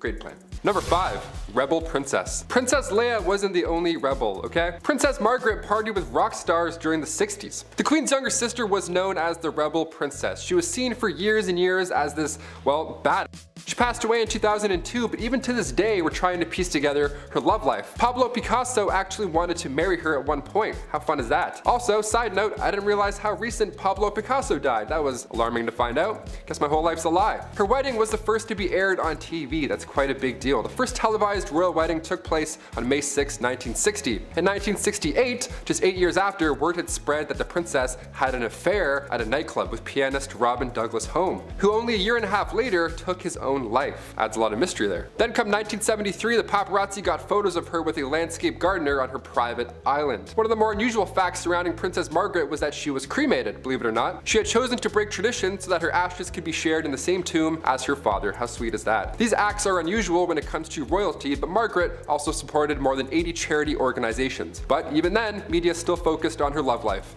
Classic. Keep it up. At number 4, Warrior Queen. Let's talk about Queen Rani Lakshmi Bai and how she became known as India's Joan of Arc. Rani was a fighter her whole life. She was raised to be a warrior and was taught how to fight. She even shared her skills with other women teaching them the same fighting skills at a young age. She was married off to a much older man and she had a child but she lost them both pretty early on. In need of an heir she adopted a son and served as queen regent but soon a growing conflict started causing a lot of tension between the British East Indian Company and her people. The young queen, at just 22 years old, wanted to drive British forces out of her land, and so she organized a revolt that turned bloody very quickly. She ordered the execution of literally every British person in the region. So Bobby from down the street, dead. Mary from around the block, goner. Freddie and Harriet, the kids of that guy that you know who bought shoes off your brother, bye bye gone. Rani killed every man, woman, and child in the area. But it still wasn't enough to win against the British. The queen died on the battlefield and the British ended up winning the battle and the kingdom fell to the enemy forces. This queen was one of the bravest and most determined women in history and she's still remembered as a hero. Number 3. Chilonis. The reason we look at princesses like Margaret and say she was a rebel is because most of the time these marriages are chosen. Well rather, women are forced to marry some gross fat dudes. And while he's cheating and eating lobster, the wife has to have his kids and be dutiful. So for the Spartan princess from the 3rd century, she too was forced to marry Cleonymus, this older, horrible man. He was so horrible that he wasn't even allowed to have his father's throne. That's how bad he was. He was in the family and still they're like, no. So Chilonis thought, this guy sucks, the system sucks, I'm gonna go talk to the much more pleasant Acrotatus, son of King Areus I. Around 272 BC, both these guys, both her lovers, went to war with each other. Mm, drama. How about the T on that? Chilonis was preparing to hang herself in case her husband won. That's horrible. Now luckily he lost, therefore the princess this time around did really live happily ever after with her other man. That's like an R-rated version of Shrek 2, what I just said. I can't believe people had to go through this in real life. That's horrible. At number 2, toxic cosmetics. The price of beauty is pretty steep. These days people spend hundreds and hundreds of dollars on makeup to make themselves feel beautiful, but back in the day makeup not only cost a pretty penny, but it also cost some serious health concerns. Cosmetics were made of a lot of questionable ingredients that you probably wouldn't find in today's products, but for people like Queen Elizabeth I, she didn't care what she was putting on her skin so long as she not only looked like a snack, but the whole damn meal. Yeah. Elizabeth had pitting in her skin from when she contracted smallpox at the age of 29, and back then, having blemished skin was a sign that God was a little cheesed with you, or that you were having some wild thoughts like thinking about the sexy time uwu. It was thought that these thoughts bubbled up from your no-no square up to your face and showed everyone that you were sinning. Anyways, to cover up the blemishes, Elizabeth wore a lot of makeup, like her version of foundation, but the ingredients were really just making things worse and not better. The foundation was made with a tincture of white lead ore, vinegar, and sometimes arsenic, hydroxide, and carbonate. To add some color back to her face after applying this pasty white mask, she powdered cinnabar to her lips and cheeks, but this was pretty dangerous because it contained mercury. She did this every day and as you can imagine, it wasn't good for her health at all. Imagine absorbing all of those chemicals through your face on a daily basis. Not cute. And finally, number one, Are you not entertained? Back in the late 1800s, the name Clara Ward would stir up a conversation. She was famous, really famous, for all the wrong reasons, of course. All it took was her bumping into a European royal and Bob's your uncle. Since birth, Clara was born into money. She didn't even need a royal husband. She was born into a wealthy industrialist family. She would sometimes visit the family mills, you know, to make it look good and kind of be like, hey, how's everyone doing? Whatever, just casual visit. But on this one casual visit, she crossed paths with the Prince of Caraman-Chimay. He was there for trade, but when he left, he brought back a wife. Carry on. Also, meet my wife. Here she is. People were freaking out, obviously. A royal marrying a common American girl. Wow, how could you? She was the talk of the town. Unlike Meghan Markle, Clara loved to show off with her newfound wealth. Some loved her and her image, but others not so much. The marriage only lasted six years. Clara eloped with a Hungarian musician, then after her divorce she had to model to make a living rather than showing off for clout. Number 10, Marie Antoinette, Madame Deficit, the last queen of France and maybe the last time royals got away with well, being royals. Her whole existence was opulence, which is really just salt in the wound when most of your citizens probably can't even afford a portion of salt because they're broke or because there's food shortages. Wasn't a good time. But if you looked into the royal palace, you can bet she's got a pantry full of bread and a bowl of fruit just ready for the pickings. She even had the nerve to purchase a necklace that if through today's inflation will be worth $12 million US. Ooh, that's a lot of money I wish I had. People were starving, and honestly, if people don't have anything, including food, ooh, it's not gonna be a good time. Imagine a whole country acting up because they haven't had their Snickers yet. Well, that ended up sparking a revolution. Very confusing, and in all that confusion, both the king and queen lost their heads. Wasn't good. Number 9. Queen Victoria. Oh blighty. Man, it must be nice to have a whole era in history named after you. Maybe I'll get one one day the cheddar time. I don't know, cheese, I don't know, big ched, we'll see what happens. Queen Victoria had some strange quirks about her. One that I can almost get behind, but not quite, is her niche for eating fast. Maybe too fast. I'm a guy who likes to make things simple, easy meals. The faster I can slip into a couch with an ice cold beer and a movie, I'm a happy guy. And or enjoy said food with the movie. Queen Victoria liked her meals to last no longer than 30 minutes. That means while you're on the appetizer, she's on the main course. And while you're on the main course, she's ordering coffee. Look, I respect the hustle. I get that. But maybe this is too much. That being said, are you going to be the one who brings it up to her royal majesty? Listen, if you want to see tomorrow's 5 minute brunch, you better keep it to yourself. Number 8. Cleopatra. Don't we all miss Elizabeth Taylor? I know I do. Sometimes, I wish I was her. She's just beautiful.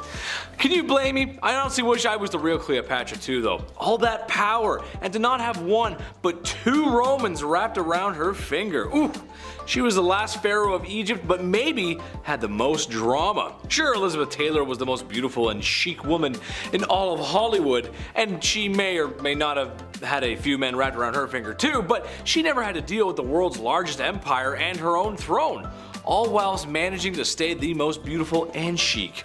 I can barely manage to toast toast in the morning. Never mind all those affairs and, um, well, the marriage affairs too. There's a lot, of, a lot of affairs happening. Number 7. Queen Isabella of Spain. Queen Isabella is known for a few things. A lot of stuff YouTube probably doesn't want me to talk about, insert religious persecution here. However, I think she should be remembered for something else, something rather strange. When I was a kid, I would run around outside for hours, oftentimes ending up in the mud. My mother would always say, it's time to hose you down, son. And she wasn't wrong, because I, I, probably needed a good hose down. Now, regardless of how much dirt was behind my ears, I didn't want to wash. I was this big stupid kid. Can you blame me? I was proud of the scruff, but that's because I was going to have another wash most likely within the next 12 hours. I always got hosed down at some point. Queen Isabella, however, boasted to others that she only bathed twice in her life. Sweet Lord Mary Mother of God woman, that is not something to boast about. Due to some water access issues, the Catholic Church was like, ah, baths? Who needs them? You know what? Baths are sinful anyway. Being so close to God, so she doesn't bathe. Cleanliness is next to godliness, except in that time period where not bathing means you're actually closer to the big JC upstairs, so that's how it goes. Number 6. Queen Elizabeth II. No crusts! Queen Elizabeth II, the longest reigning monarch. God bless the Queen. And God save the Queen. Shout out to the UK. Chetty loves you. How you doing? Come, come and see me sometime. I love you guys. Now, sure, she's not the most awful spoiled queen in history, but she is a queen, and that does mean she can have things her way. Like, for example, all of her sandwiches have to have the crusts cut off. Yes, just like children. Yes, just the way I like them too. No, I'm not a big baby. I'm a big strong man who totally doesn't rely on the women in his life. no, what are you, what are you saying? Dude, stop. Mom, I love you. Anyway, well, yes, it's true the queen sandwiches have to have her crust cut off. Is it the worst thing ever? No, I don't think so, but what if her sandwich showed up with crust? We don't really burn people at the stake anymore, so what would she do? Would she fire them, I guess? It's kind of a little thing to get fired over. I don't know. Anyway, speaking of getting fired. Number 5. Marie Antoinette. So France's queen between 1774 and 1792 was Marie Antoinette, who was, you know, the last queen before the French Revolution. She had quite the reputation for splurging on expensive things and found herself in quite a few scandals. One in particular was the affair of the diamond necklace. So Countess de la Motte, a young lady, pretended to be the queen's friend and entered the French court in 1785. She fooled a high society member into believing that Antoinette loved him. She even hired a buy-selling worker and disguised her as the queen and convinced the man that uh, Marie wanted to purchase a diamond necklace. The jewelry cost around 1,600,000 livres then, which is almost $12 million today. The money was never paid, and the queen had no clue about what had taken place, but even though she was innocent, the public still despised her. Granted, she's mostly known for her infamous dialogue. When French subjects could not afford bread, she said, let them eat cake, which fueled the French Revolution and ultimately led to her um, execution. Number 4. Queen of Castile. So Juana la Loca was the Queen of Castile from 1504 to 1516, and she suffered from various mental disorders. After her husband passed in 1506, her father buried his body. However, Juana used to open the tomb and caress her husband's dead body, and ultimately she ordered the body dug out and kissed her husband's feet. Additionally, she would carry his coffin everywhere with her, and actually kept it under her bed. Years later though, she eventually allowed his burial outside her window. Look, I just keep weird dolls under my bed. Number 3. Maria Eleonora of Brandenburg. Maria Eleonora, born on November 11th of 1599, passing eventually on March 28th of 1655, held the title of Queen of Sweden from 1620 to 1632 as the wife of King Gustav II Adolf. Coming from a noble German family, she belonged to the prestigious house of I'm not even going to try and say that. However, when Maria and Gustav gave birth to a girl with a genetic condition causing excessive hair growth, Maria was deeply shocked. The unexpected appearance of her daughter, combined with uh, societal beauty expectations, pushed Maria to her limits. She considered her daughter ugly and refused to care for what she perceived as a monstrous creature. When Gustav died when Christina was only, um, this many years old, Maria blamed her for his death. For over a year, Maria subjected Christina to very harsh punishment, confining her to blacked out, darkened rooms to mourn her father in solitude for very extended periods, even placing her father's open casket in Christina's room and demanding she sleep next to it, which that's way too morbid even by my standards. Maria's mental state deteriorated, eventually leading to Christina's removal from her custody. So thank goodness for Christina. Number 2 is Cixi the Dragon Lady. So the story of her rise to power is a remarkable one.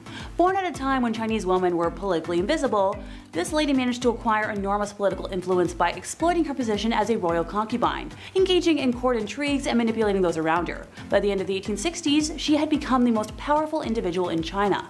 Her will and her reach even exceeded two male emperors, who she frequently bypassed bypassed or overruled.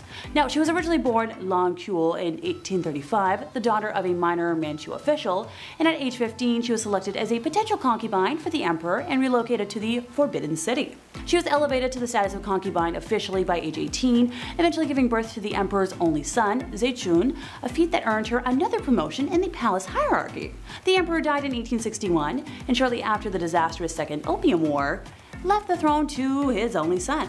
So as the mother of the reigning emperor, Cixi was given the courtesy title Dowager Empress. So by this point the Empress had become quite adept at manipulation, palace intrigues, and power games. Through forged evidence and false testimony, she engineered the arrest of the eight ministers, three of whom were later executed. With the Regency Council gone, the Empress became the de facto regent for the duration of her son's reign, until his early death from smallpox in 1875. The Empress was instrumental in the succession, choosing her young nephew Zaitian, who was crowned as emperor So once again, this Dowager Empress acted as regent to the infant emperor, this time in a more formal capacity. Twelve years into the young emperor's reign, our empress moved to the summer palace in Beijing and surrounded by a network of informants and advisors, doted on by loyalists and conservatives in the bureaucracy and military, she continued to exert enormous influence on appointments, policies, and matters of state. Stories of the empress's extravagance are prevalent, since it has been claimed that she regularly increased her personal and food allowances, uh, that she withdrew gold and silver from dwindling national reserves, and spirited millions of pounds offshore into bank accounts in London. Other tales of her exorbitant spending include her decision to spend 10 million silver taels, uh, some set aside to rebuild the Chinese Navy, on the renovation of one of her palaces. Another rumor claims that 3,000 ebony boxes were needed to restore her jewelry collection. Number 1. Agrippina the Younger. So Julia Agrippina, also referred to as Agrippina the Younger, was a Roman empress from 49 to 54 AD, the fourth wife and niece of Emperor Claudius and the mother of Nero. After the death of her first husband, Agrippina tried to make shameless advances to the future emperor Galba, who showed no interest in her and was devoted to his wife. On one occasion, Galba's mother-in-law gave Agrippina a public reprimand and a slap in the face before a whole bevy of married women. She was one of the most prominent women in the Julio-Claudian dynasty, functioning as a behind-the-scenes advisor in the affairs of the Roman state via, you know, the powerful political ties. She maneuvered her son Nero into the line of succession, and Claudius became aware of her plotting, but died in 54 and it was rumored that Agrippina uh, poisoned him. She exerted a commanding influence in the early years of Nero's reign, but in 59 she was killed. Both ancient and modern sources describe Agrippina's personality as ruthless, ambitious, violent, and domineering. Number 10, Marie Antoinette. I wonder what it must have been like to be the Queen of France. To sit in a palace and eat all those delicious foods that your cooks can make while the peasants outside struggle to eat and sing about bread for some reason. I don't know, Les Mis reference. It's a life of beauty, balls, and not listening to what the stinky peasants outside have to say. Except that's the very reason why Marie Antoinette was the last queen of France. You can only spend so much time and money on your exuberant lifestyle before the people get fed up. I mean, these people have nothing. It's kind of difficult to control people when they don't even have food at home. They let the queen know how upset they were when they decided to remove her head from her body. Number 9. Bloody Mary, Bloody Mary, Bloody Mary. Sometimes it's just in the name, isn't it? Like Mario, you know that he's an Italian plumber. Or Luigi, you can tell that that's an Italian plumber's brother. And uh, King Dedede, king of the DDDs or, or something. I, I, don't know. Okay, maybe the names don't always give it away, but Bloody Mary does. Most known for her liberal use of the wooden stake and the whole uh, burning folks alive thing. I, I wish I could tell you it was for barbecue, but it was actually for some more serious religious persecution and, and, reformation. The Catholic Church was hot, but the witches and heretics burning at the stake were hotter. No cap. Number 8. Ranavalona of Madagascar. This one is a new one for me. Didn't know about this, but here we go. So basically, Queen Reina I'm gonna say I'm just gonna call her Queen Ravioli because I can't pronounce it. Basically, Queen Ravioli takes over from her past husband. She says to herself, "How can I make things better?" Oh, I know. How about I become a ruthless, bloodthirsty, unaliving tyrant? Great idea, right? Yes, very uh, not great success. Yes, unfortunately she did many heinous things. Something I found out to be particularly Interesting, however, was her destroying the many good things her husband had set up before her. Madagascar had some European intervention, and while it's true that a lot of times that is a bad thing, and yeah, it's a bad thing. And it does bring some bad stuff with it. However, it also brings a lot of good things with it. In Madagascar's case, it was markets, modern schools, trade, and diplomacy with, with Europe. And that's, that's good. Money's good. You like that. Well, the queen wasn't having any of that, so she reformed. And by that I mean she repressed and, and re-unalive people. Number 7. Empress Irene.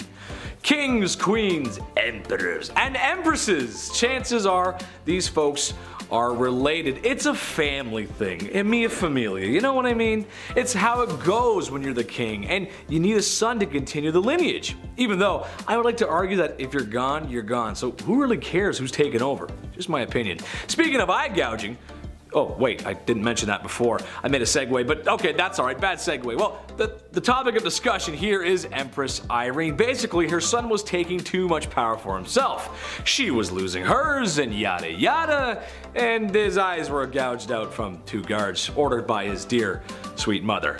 Can you blame her though? I mean, come on, he was threatening a rule. She worked so hard to get there. The chief was just silent on this one. Chief had no words for that one, guys. No words. Number 6, Fu Hao. Another woman in history married to a man in the stinky patriarchy. Worst! Except, Fu Hao didn't want to be wife 57 of 64. She wanted more than that. And to be honest, I think that's fair. You go girl, who wants to be wife 57 of 64? Maybe some people in Utah, I don't know. What's maybe slightly more unholy than having that many wives is going on an epic military campaign and raging war in the Shang dynasty. A warrior queen, if you will. We know some of this history based on her tomb as she was buried with ceremonial weapons, knives, blades, swords, some dogs, some uh, human sacrifices, gold, money, jade, and lots of other valuable goodies. Just makes you want to loot all the stuff in there, doesn't it? I mean, Jade's pretty cool. This was a common practice amongst male warriors back then, but you know what? Good for her and all that unaliving. Way to go, sister. I like it. Very nice. Okay. Number 5. Bloody Mary. Duh. Mary the First, or Bloody Mary as she is also known, was the first real Queen of Britain. But this reign didn't last very long, five years to be exact, before she was replaced by the much, much better Queen Elizabeth. But in that short five year span, Bloody Mary earned that title, let me tell you. Mary I ordered war against the Protestants and slew quite a hearty handful of them for heresy. Which is interesting since her father, Henry VIII, was kind of the guy who made Protestants more of a thing in England, and then her sister was also Protestant and made it the main religion in England. History is full of people needlessly passing away because what they believe isn't the right thing. Anyways, to heat things up, Mary even had some of these Protestants burned on the spot. Some is kind of an unfair statement. You see, the Queen here was responsible for burning over 300 Protestants at the stake. Other kings and queens burned people at the stake for their faith. I mean, Mary's father did it, as did her sister. But it's the sheer amount of people that make her much worse and much more famous. Number 4. Taking over. Queen Catherine the Great of Russia was obviously a queen of Russia. But that don't mean she was actually Russian. She was actually German born. But she was Russian to get herself into power when it turns out her husband, Emperor Peter, was not very liked by his own people, as he showed a very obvious dislike for Russia, which is kind of weird. She took advantage of people's disdain, and while she may not have directly done the life ending here, it is pretty well stated that the act was committed by her supporters, and public opinion held her responsible. She was called the Great, but it seems she was actually kind of the absolute worst, even if she was a strong ruler.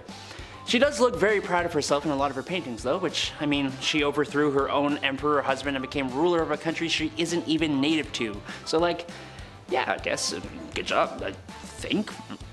Number 3. La Loca de Loco. Finally, a queen not on this list for ending other people's lives. No, Juana La Loca was far worse than that. Not to be insensitive, but Juana La Loca was loco. She was the Queen of Castile from 1504 to 1516 and she suffered from various mental disorders. After her husband died in 1506, her father buried his body, but that didn't stop La Loca from opening the tomb and caressing her husband's non-living body from time to time.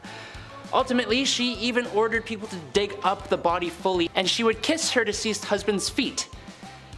I'm sorry, excuse me, I need, I need some water after that. That's disgusting. Mm, that's a lot. Mm -hmm.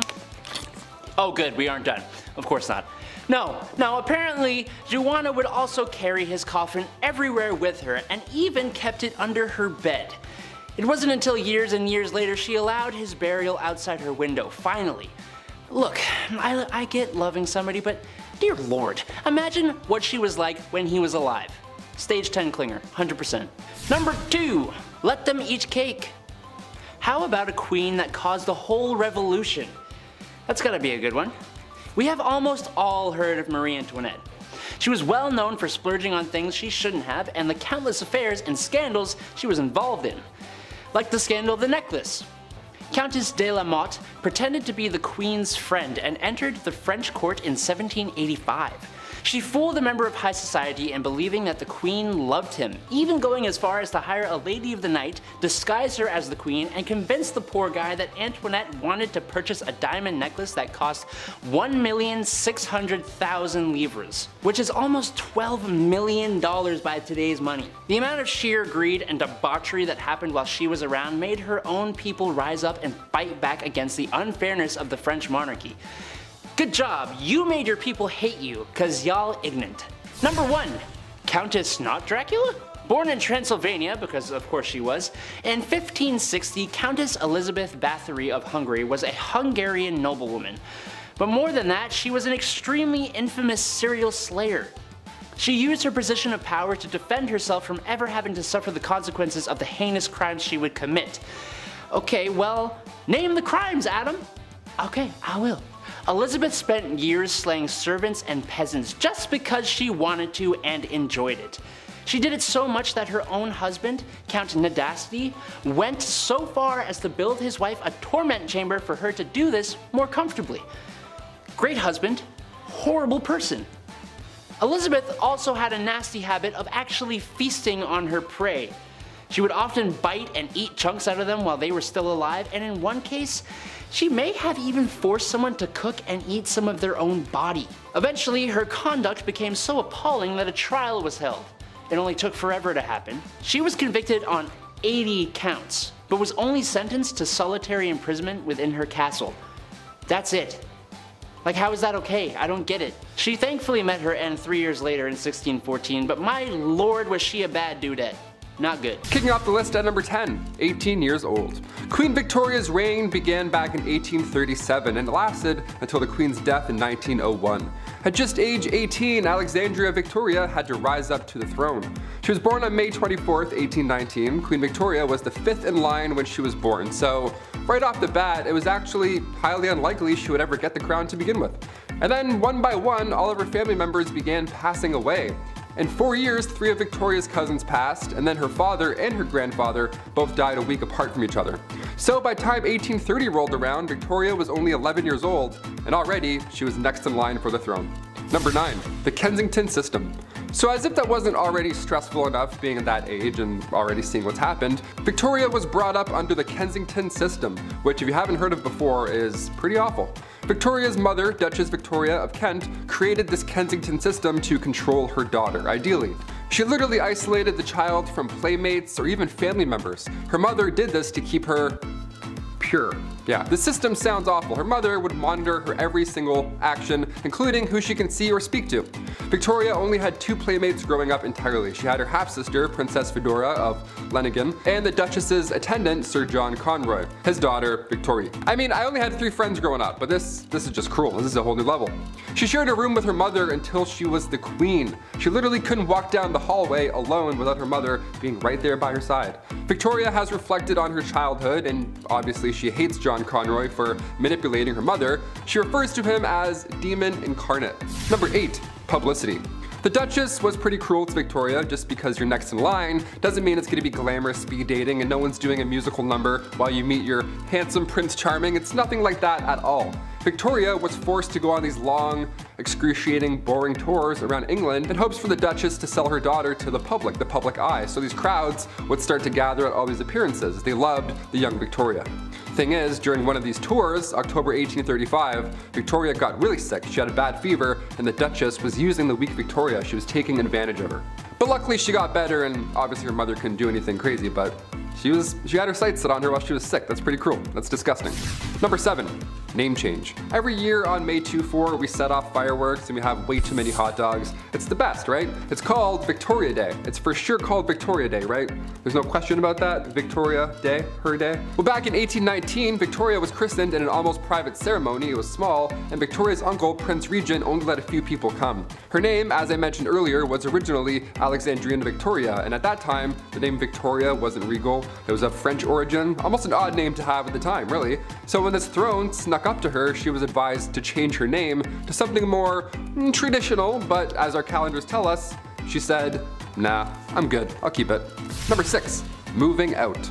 Queen Victoria had turned 18 right before she was handed the crown. The timing here was key because now this meant Victoria could leave and just do things. Yeah, for once in her damn life, she could leave her mother and John.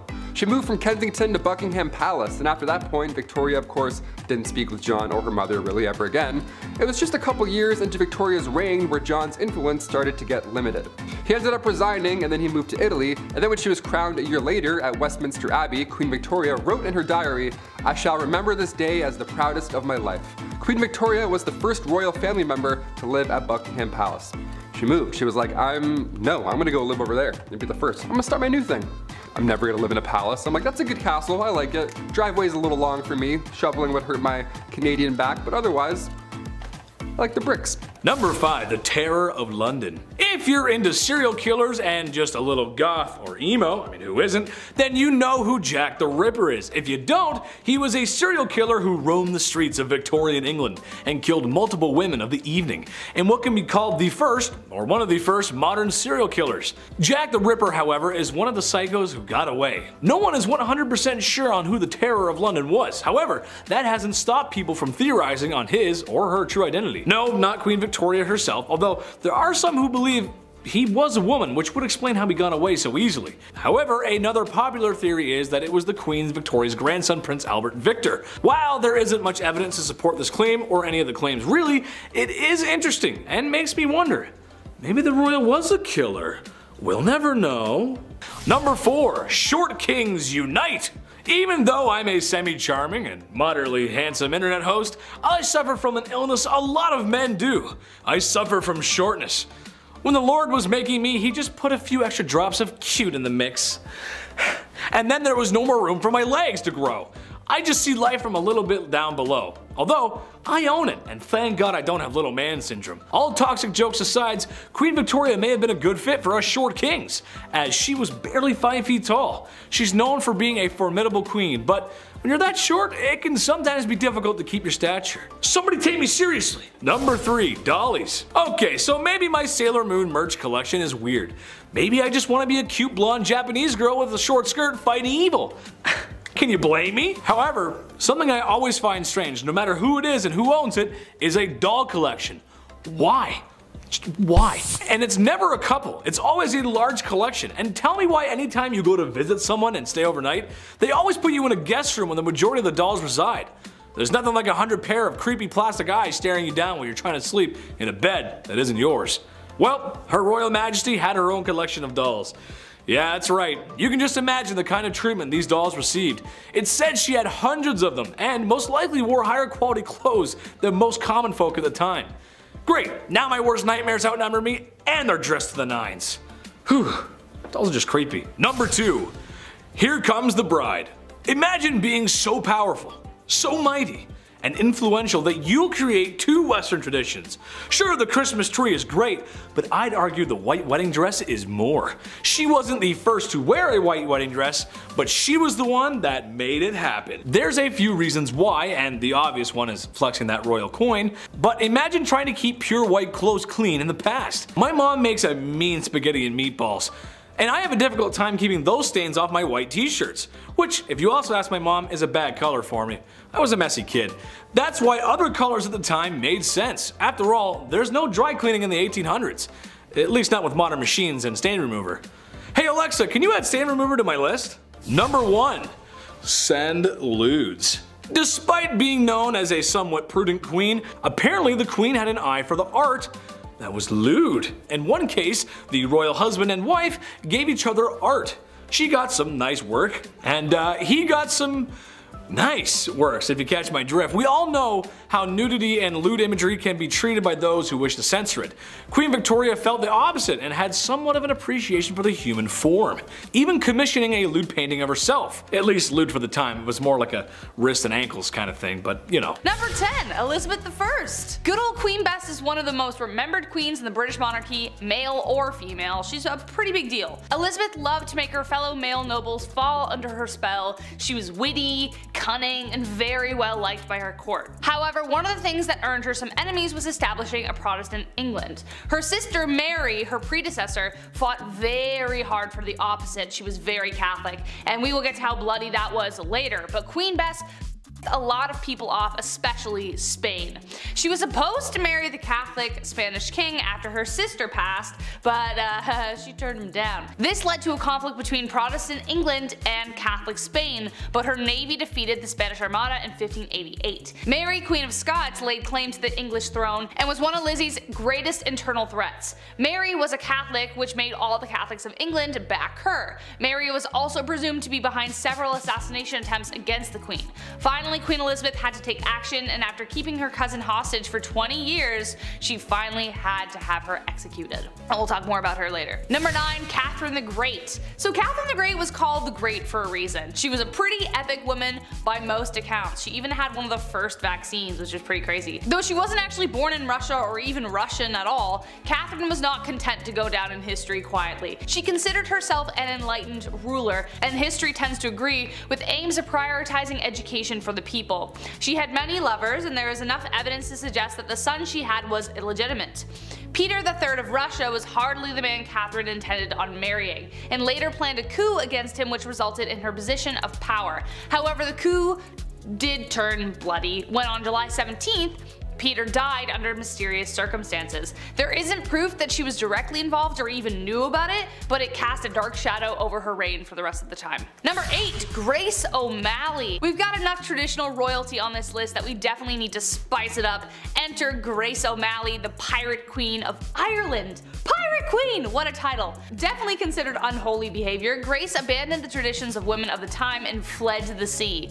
There, she took on the waves and perils of Davy Jones' locker with a legendary ferocity she was born into the clan O'Malley around 1530 around the time of Henry VIII's rule over England and Ireland. Clan O'Malley was a notorious seafaring clan and ruled the southern shore of Clew Bay, Achill Island, and most of the barony of Murrisk for over 300 years. Grace was really well educated and could even converse fully in Latin, Spanish, Scottish, Gaelic, and French. She was not one to be refused and after spending years fighting the British, she finally met Queen Bess and not only did she speak Latin to her, but she refused refused to bow as she was considered a queen herself by that point. Number 7. Mary Queen of Scots. I told you I was gonna bring her up.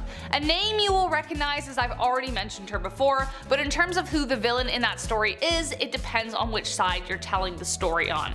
Mary's story is full of tragedy, romance, betrayal, loss, and heartbreak. Unlike Lizzie, Mary was a dedicated Catholic and spent the entirety of her reign trying to gather the Catholics against Elizabeth. She had a series of marriages and relationships that led to tragedy every which way she went. Her first husband, the Dauphin of France, died shortly after their marriage. Her second husband she loved until he became a drunkard, and then she just started running things. But he was mysteriously unalive while she was six months pregnant. He was inside a building that exploded, but his body landed outside and it turned out he was strangled, so what happened there? She would later give birth to two stillborn sons, but she would have sons later on. She would have a son who would inherit the throne after Elizabeth's death, but it was due to Mary's plotting and scheming that eventually ended her in death. So she did actually plot to kill Elizabeth. So that's a pretty unholy deed I would say. Number 6. Princess Olga of Kiev. Okay, wow, this woman. One saint you definitely don't want to mess with. Despite being a saint, Princess Olga of Kiev was actually pretty sinful. She was one of the most vicious and vengeful rulers in the history of Kievan Rus, which would later become Russia, Ukraine, and Belarus. Olga took center stage after her husband died and made sure she would never be forgotten. Her husband died in a very gruesome way by the enemies that we're going to talk about in a second. When the people who viciously unalived her husband tried to persuade her to marry their leader, they sent 20 men. Olga told them to wait in their boats, had her men dig a ditch in the meantime, and the next morning buried the men alive. She then lied and told the king she would accept his offer if he sent his best company to retrieve her. He didn't know about all that stuff yet. When they got there, she locked them in a bathhouse and torched it. Eh, but it didn't stop there. Olga didn't stop there, that's not her style. She would later host a steak dinner with her enemies in which they were staked. Very Vlad the Impaler, I know. Then she set whole villages on fire by attaching sulfur to pigeons and then it was just crazy. Damn, like hell has no fury like a woman scorned, let me tell you. Number 5. Charlotte Augusta. Princess Charlotte Augusta of Wales lost her life in 1817, and when I say ancient, this is probably the most recent that I'll go, because I know ancient means way back. I gotcha. But I have to include this one because as far as royals go, she was loved at this time. She ended up falling in love with Britain's Prince Leopold, but a year and a half later, she died giving birth. She was healthy at the time, she was only 21 years old when this happened. Charlotte was lined up to be the queen one day, and historical accounts say that the doctors here were at fault. Charlotte's tragic passing had vendors running out of black fabric. That's how rocked the public was right after this. Just massive displays of grief. What do you guys think? Comment down below. Was this a doctor conspiracy or just classic medieval times? It's the olden days. We can't really do as much. Let us know. Number four, Catherine Howard. Queen of England from 1540 to 1541. Such a short amount of time, but why? Being the fifth wife of King Henry VIII, cousin to Anne Boleyn, referred to by King Henry as his rose without a thorn, he just gave her all the gifts and she was just 19 years old. Sounds great so far, but you know, because of his list, things won't end up well. Their marriage didn't even last a year until rumors, not letters or eyewitnesses, rumors started spreading about infidelity. There was a small amount of evidence that suggested that she had been romantically involved with somebody beforehand, so a jealous mad king got jealous and mad again. Shocker. You had me at fifth wife, I don't know. She was executed for adultery and treason at the Tower Green on February 13th, 1542. Number 3. Catherine Parr. When Catherine Parr got a position in Princess Mary's house in 1542, she met King Henry VIII. She was smart, she was 30 years old, so it was a step in the right direction age-wise when it comes to these queens and King Henry. Not that there's anything wrong with marrying somebody younger, that's not what I'm saying, but it's just well, look at this list. All these people died. Spoiler alert. So the older, the better at least. I don't know. She was seen as somebody who could nurse the king in his dying age, so the public liked her. She was the first English queen also to write and publish her own books. Now, come 1543, Catherine gave up her man, Thomas Seymour, to marry the king. The two got married that July at Hampton Court Palace, and from that point on, her beliefs were deemed dangerous. Queen Catherine was a supporter of the English Reformation, and Catherine's religious opponents were plotting against her and they tried to convince the king that she was dangerous. Her arrest was even planned, everything was kind of going in a bad direction. And then Catherine went to King Henry right away and then asked for forgiveness herself. You know, for pushing her views too far many times before, and he forgave her. Meanwhile, others are losing heads for having relationships. Okay? Her and Henry were married for five years, and then after his death, she married Thomas Seymour just a few months later. And then come September 1548, she died after giving birth to her daughter. The account of her death comes from a lady-in-waiting and friend of Catherine Parr, comes from Elizabeth Tyrwhitt, only her account is fishy because she never liked Thomas Seymour to begin with. She made it seem like Catherine was speaking about her husband in a negative manner when she was dying, and this is the only time in history where that's ever been an idea. So what do you think? It's like broken telephone, but hundreds of years ago. I'm like, I, maybe she was friends? I don't know. Sounds like conspiracy. Number two, Anne of Cleves. Where to even begin here? Okay, this one is sad, man. Anne was right in the middle of Henry's wives. She was married to King Henry for six months, and it was seen as quite strategic in a way. Henry's chief minister convinced him to marry one of the sisters of Germany's Duke of Cleves, either Anne or Amelia. So in order to decide, Henry requested that Hans Holbein travel to Cleves to paint a portrait of each sister. This is like the birth of Tinder right now. I'm not joking, this actually happened. This man compared portraits and then chose Anne because every man praiseth her beauty. She was compared to the silver moon. Yeah, try that on a dating site. I praiseth thou beauty, madam. Super swipe. A treaty was signed and a few weeks later Anne arrived to England. Henry was beyond upset because she looked nothing like she did in her portrait. Yep, real life, this is what really happened. He tried to stop the wedding because of this, but it was too late. They had to follow through and they got married on January 6, 1540, and later accepted the divorce because obviously a divorce was in play after what you just heard, and then she lived as the king's sister peacefully until her death in 1557. Of all the ways to be remembered in history, King Henry made this horrible for Anne. And finally, number one, Cleopatra. Last of the Egyptian pharaohs and last on our list. One of the biggest questions to this day is just how Cleopatra died. What happened? It's been rumored for a while that a snake bite was the culprit, but many believe that Cleopatra also allowed a poisonous snake to end her life. They think it was a bite from an asp. But there's also a large amount of historians that also believe that she poisoned herself using a hairpin. Her lover Anthony fell on his own sword, but Cleopatra, she just poked herself. She barely lost blood. Now as a youngin, we have to note that Cleopatra was brilliant. She was also interested in learning specifically about chemistry. So this theory about her poisoning herself doesn't sound very far-fetched. Until we find her body, we'll really never know. What do you guys think? At number 10, Blinded by Ambition. I don't know about you, but I think my favorite part of these queens lists is learning about all the wild and crazy things that queens did to keep or acquire power back in the days of old. Like these gals were absolutely ruthless and they weren't afraid to absolutely body anyone who stood in their way. We've heard about queens taking out enemy tribes, their husbands, and even their own family members. This all sounds like a round of Call of Duty when you're the last one on your team and you're just murking everyone in sight trying to save your own skin. Let's talk about a queen, or rather empress, who was so desperate for power that she ended up killing her own son. Irene of Athens was an empress from the Byzantine Empire who ruled from 797 to 802 CE. She started her reign as co-ruler alongside her son Emperor Constantine IV. Though it started as a good old family business, you know, saving people, hunting things, not really. Things went south as they normally did back then. Irene wanted all the power to herself and so she sought out to eliminate her competition, her own son.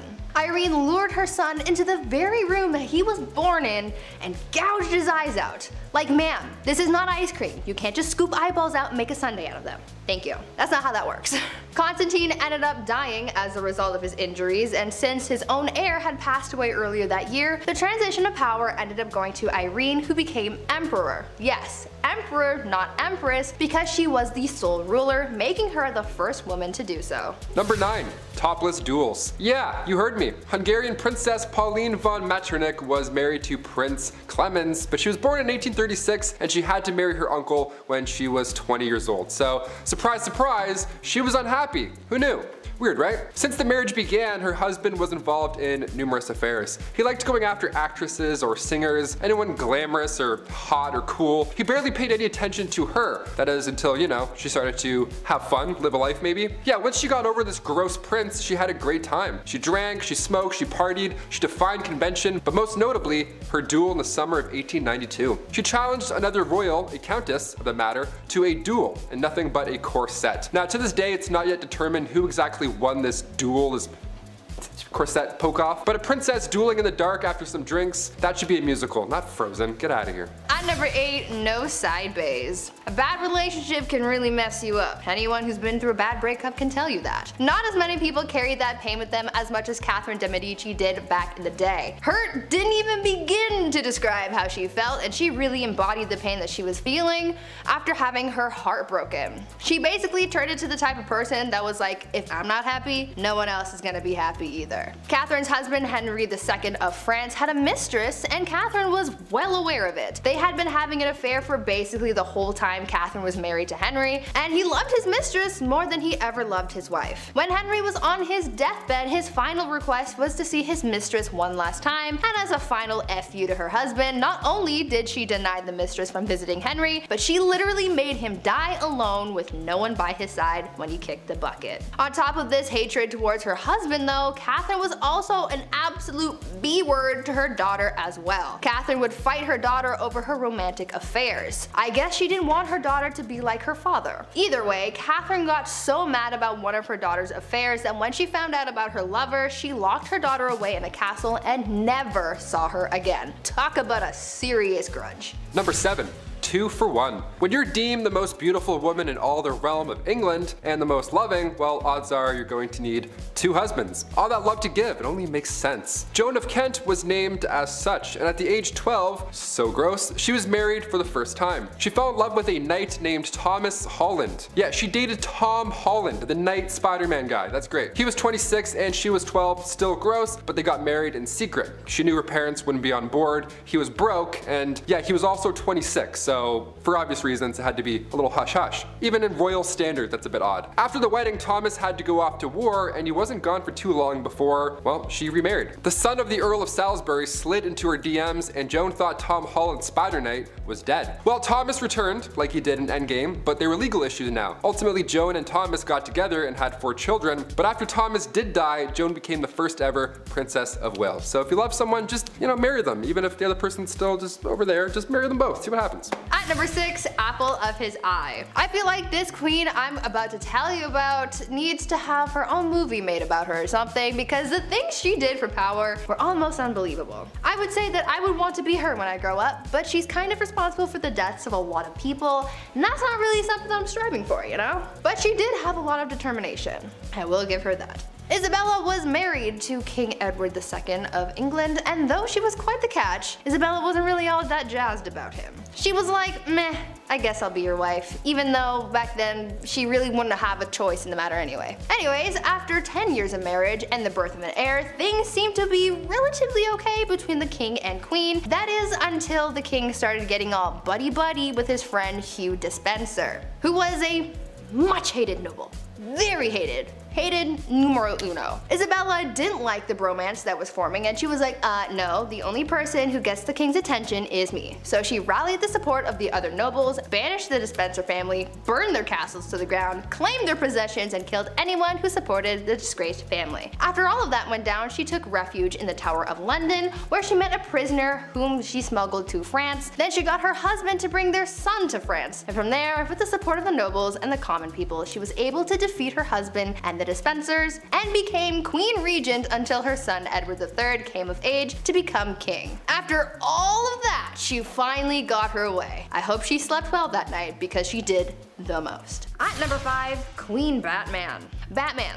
He is justice. We know this. Well, long before Batman, there was a queen who sought vengeance and she did it in the most brutal way. Olga of Kiev became queen regent in 945 CE after her husband was killed because her son was just too young to rule yet. Olga knew that once her son was old enough to be crowned king, her power would be taken away, so she had to do the most that she could with her power while it still lasted, and so she used her powers as monarch to seek justice for her husband's death. She was able to get her husband's killers captured and killed using scalding water, but she soon developed a thirst for suffering apparently, and she just kept on going after people. She would not rest until everyone associated with the people who killed her husband were all eliminated. So if you ever breathe in the general vicinity of the guy who offed her hubby, you could kiss your life goodbye. Olga took hundreds of people out of the tribe that her killers were from, she devised a plan to bury their tribe's leaders alive, and she even came up with a plan to set fire to their entire village. It is said that Olga may have locked the tribe's leaders in a bathhouse and burned it down,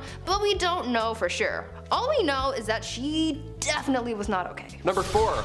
No crust. This next one, honestly, I stand by. I see no wrong here. Queen Elizabeth II, still rocking to this day. She's been known for a few funny, quirky queen things. Like one of my favorites, for example, she has somebody on payroll who breaks in new shoes for the queen. Every time I buy Vans, my ankle always does that little foot rub. Only I were queen, damn it. But we're talking about unusual things here, and one of the weirdest things I've ever heard is that the queen has refused crust on her sandwiches. This has been a no-go for about 150 years. It's not recent at all. You might be thinking, oh, maybe she's old, she can't chew her jawbones. Nope, way back. This goes way back for no reason. Right around the time of Queen Victoria and her husband Albert. They viewed anything square shaped as bad luck because it looked like a coffin. I've never thought about death while eating grilled cheese, but now I definitely will. Thank you. This must be a pretty scary job, cutting the crust off the queen's bread. My hands would be shaking the entire time. Also, diagonal or down the middle? Let us know. There's only one right answer. At number 3, Evil Empress. This next empress is pretty similar to Olga of Kiev, whom I talked about earlier. Empress Wu Zetian also had a thirst for blood and suffering, but not towards people who have necessarily wronged her. You see, when she came into power, she was determined to keep that power by any means necessary, so she had all of her rivals killed. So anyone who could possibly overthrow her or come for her seat on the throne was eliminated. The empress ordered the execution of the previous empress as well as members of her own family, including her own newborn daughter. She didn't want to risk anyone taking away her power, including her own offspring apparently. She didn't hold back on the methods of eliminating her rivals either. Yeah sure, she could have just done a 1-2 stabby stabby and called it a day, but that's no fun. Instead, she had people poisoned, strangled, mutilated, or even burned or boiled alive good soup. Eventually, she retired from her part-time job of sending people back to their maker and started spending more time with her lovers and getting addicted to aphrodisiacs. People weren't quick to forget about all that bloodshed though, and so to get back at her, they had all of her lovers killed and the empress was exiled. She got a little too greedy and karma came back with a vengeance. Number 2. Ice Palace. If you're a fan of the film Frozen, this next one is gonna get you jazzed right up. Anna Ivanova, the Empress of Russia from 1730 to 1740. Okay, so in celebration over their victory with the Ottoman Empire, Anna gave the order to build an ice house, this massive ice palace. Best place to cool down if you ask me. I'll leave. This ice palace was pretty impressive. If I was there, I would 100% lick the walls. Obviously, someone definitely did, you know that for a fact. 20 meters by 50 meters, and even more impressive, there were ice trees and ice birds sculpted inside. How magical is that? Anna arranged this marriage with a prince and one of her maids. Now they didn't know each other, they were forced to ride an elephant, and all the guests were dressed up like clowns. Yep, that's all valid, that's all accurate. You heard me. You may be thinking, wait a minute Taylor, an ice palace in Russia, was that maybe cold? Yeah, it was an absolute nightmare. Anna made the guest party all night, freezing cold, they all got sick, dressed like clowns. I went to an ice hotel in Quebec once, spoiler alert, it's cold and boring. There, I just saved you $70. You're welcome. And finally at number one, Gladiator Games and Chill. If you didn't ever have to go to work and you could just lounge around all day, what would you do with your time? Really, anything could be possible. You could be like the Bruno Mars lazy song. Well, there's one empress from back in ancient Rome who occupied her time with the company of others. Apparently, Empress Valeria Messalina was famous for her exploits. Since she was empress and she had all this time and money and no one to tell her no, she took full advantage of that and bought a house, turned it into a brothel, and made that her side hustle. A lot like Littlefinger from Game of Thrones. Though she had a collection of women who worked there, she also was known to to invite upper class ladies to participate in the nightly escapades as well. And don't think that Valeria did jump in as well. She was considered to be quite something in the sack. In the wise words of Ludacris and Lil Jon, she was a lady in the streets but a freak in the bed. The Empress was known to be such a hardcore participant that she would win games where they would compete to sleep with the most men in one night. One time she won the round after being with 25 men one night. She did the absolute most, but at least she was having fun.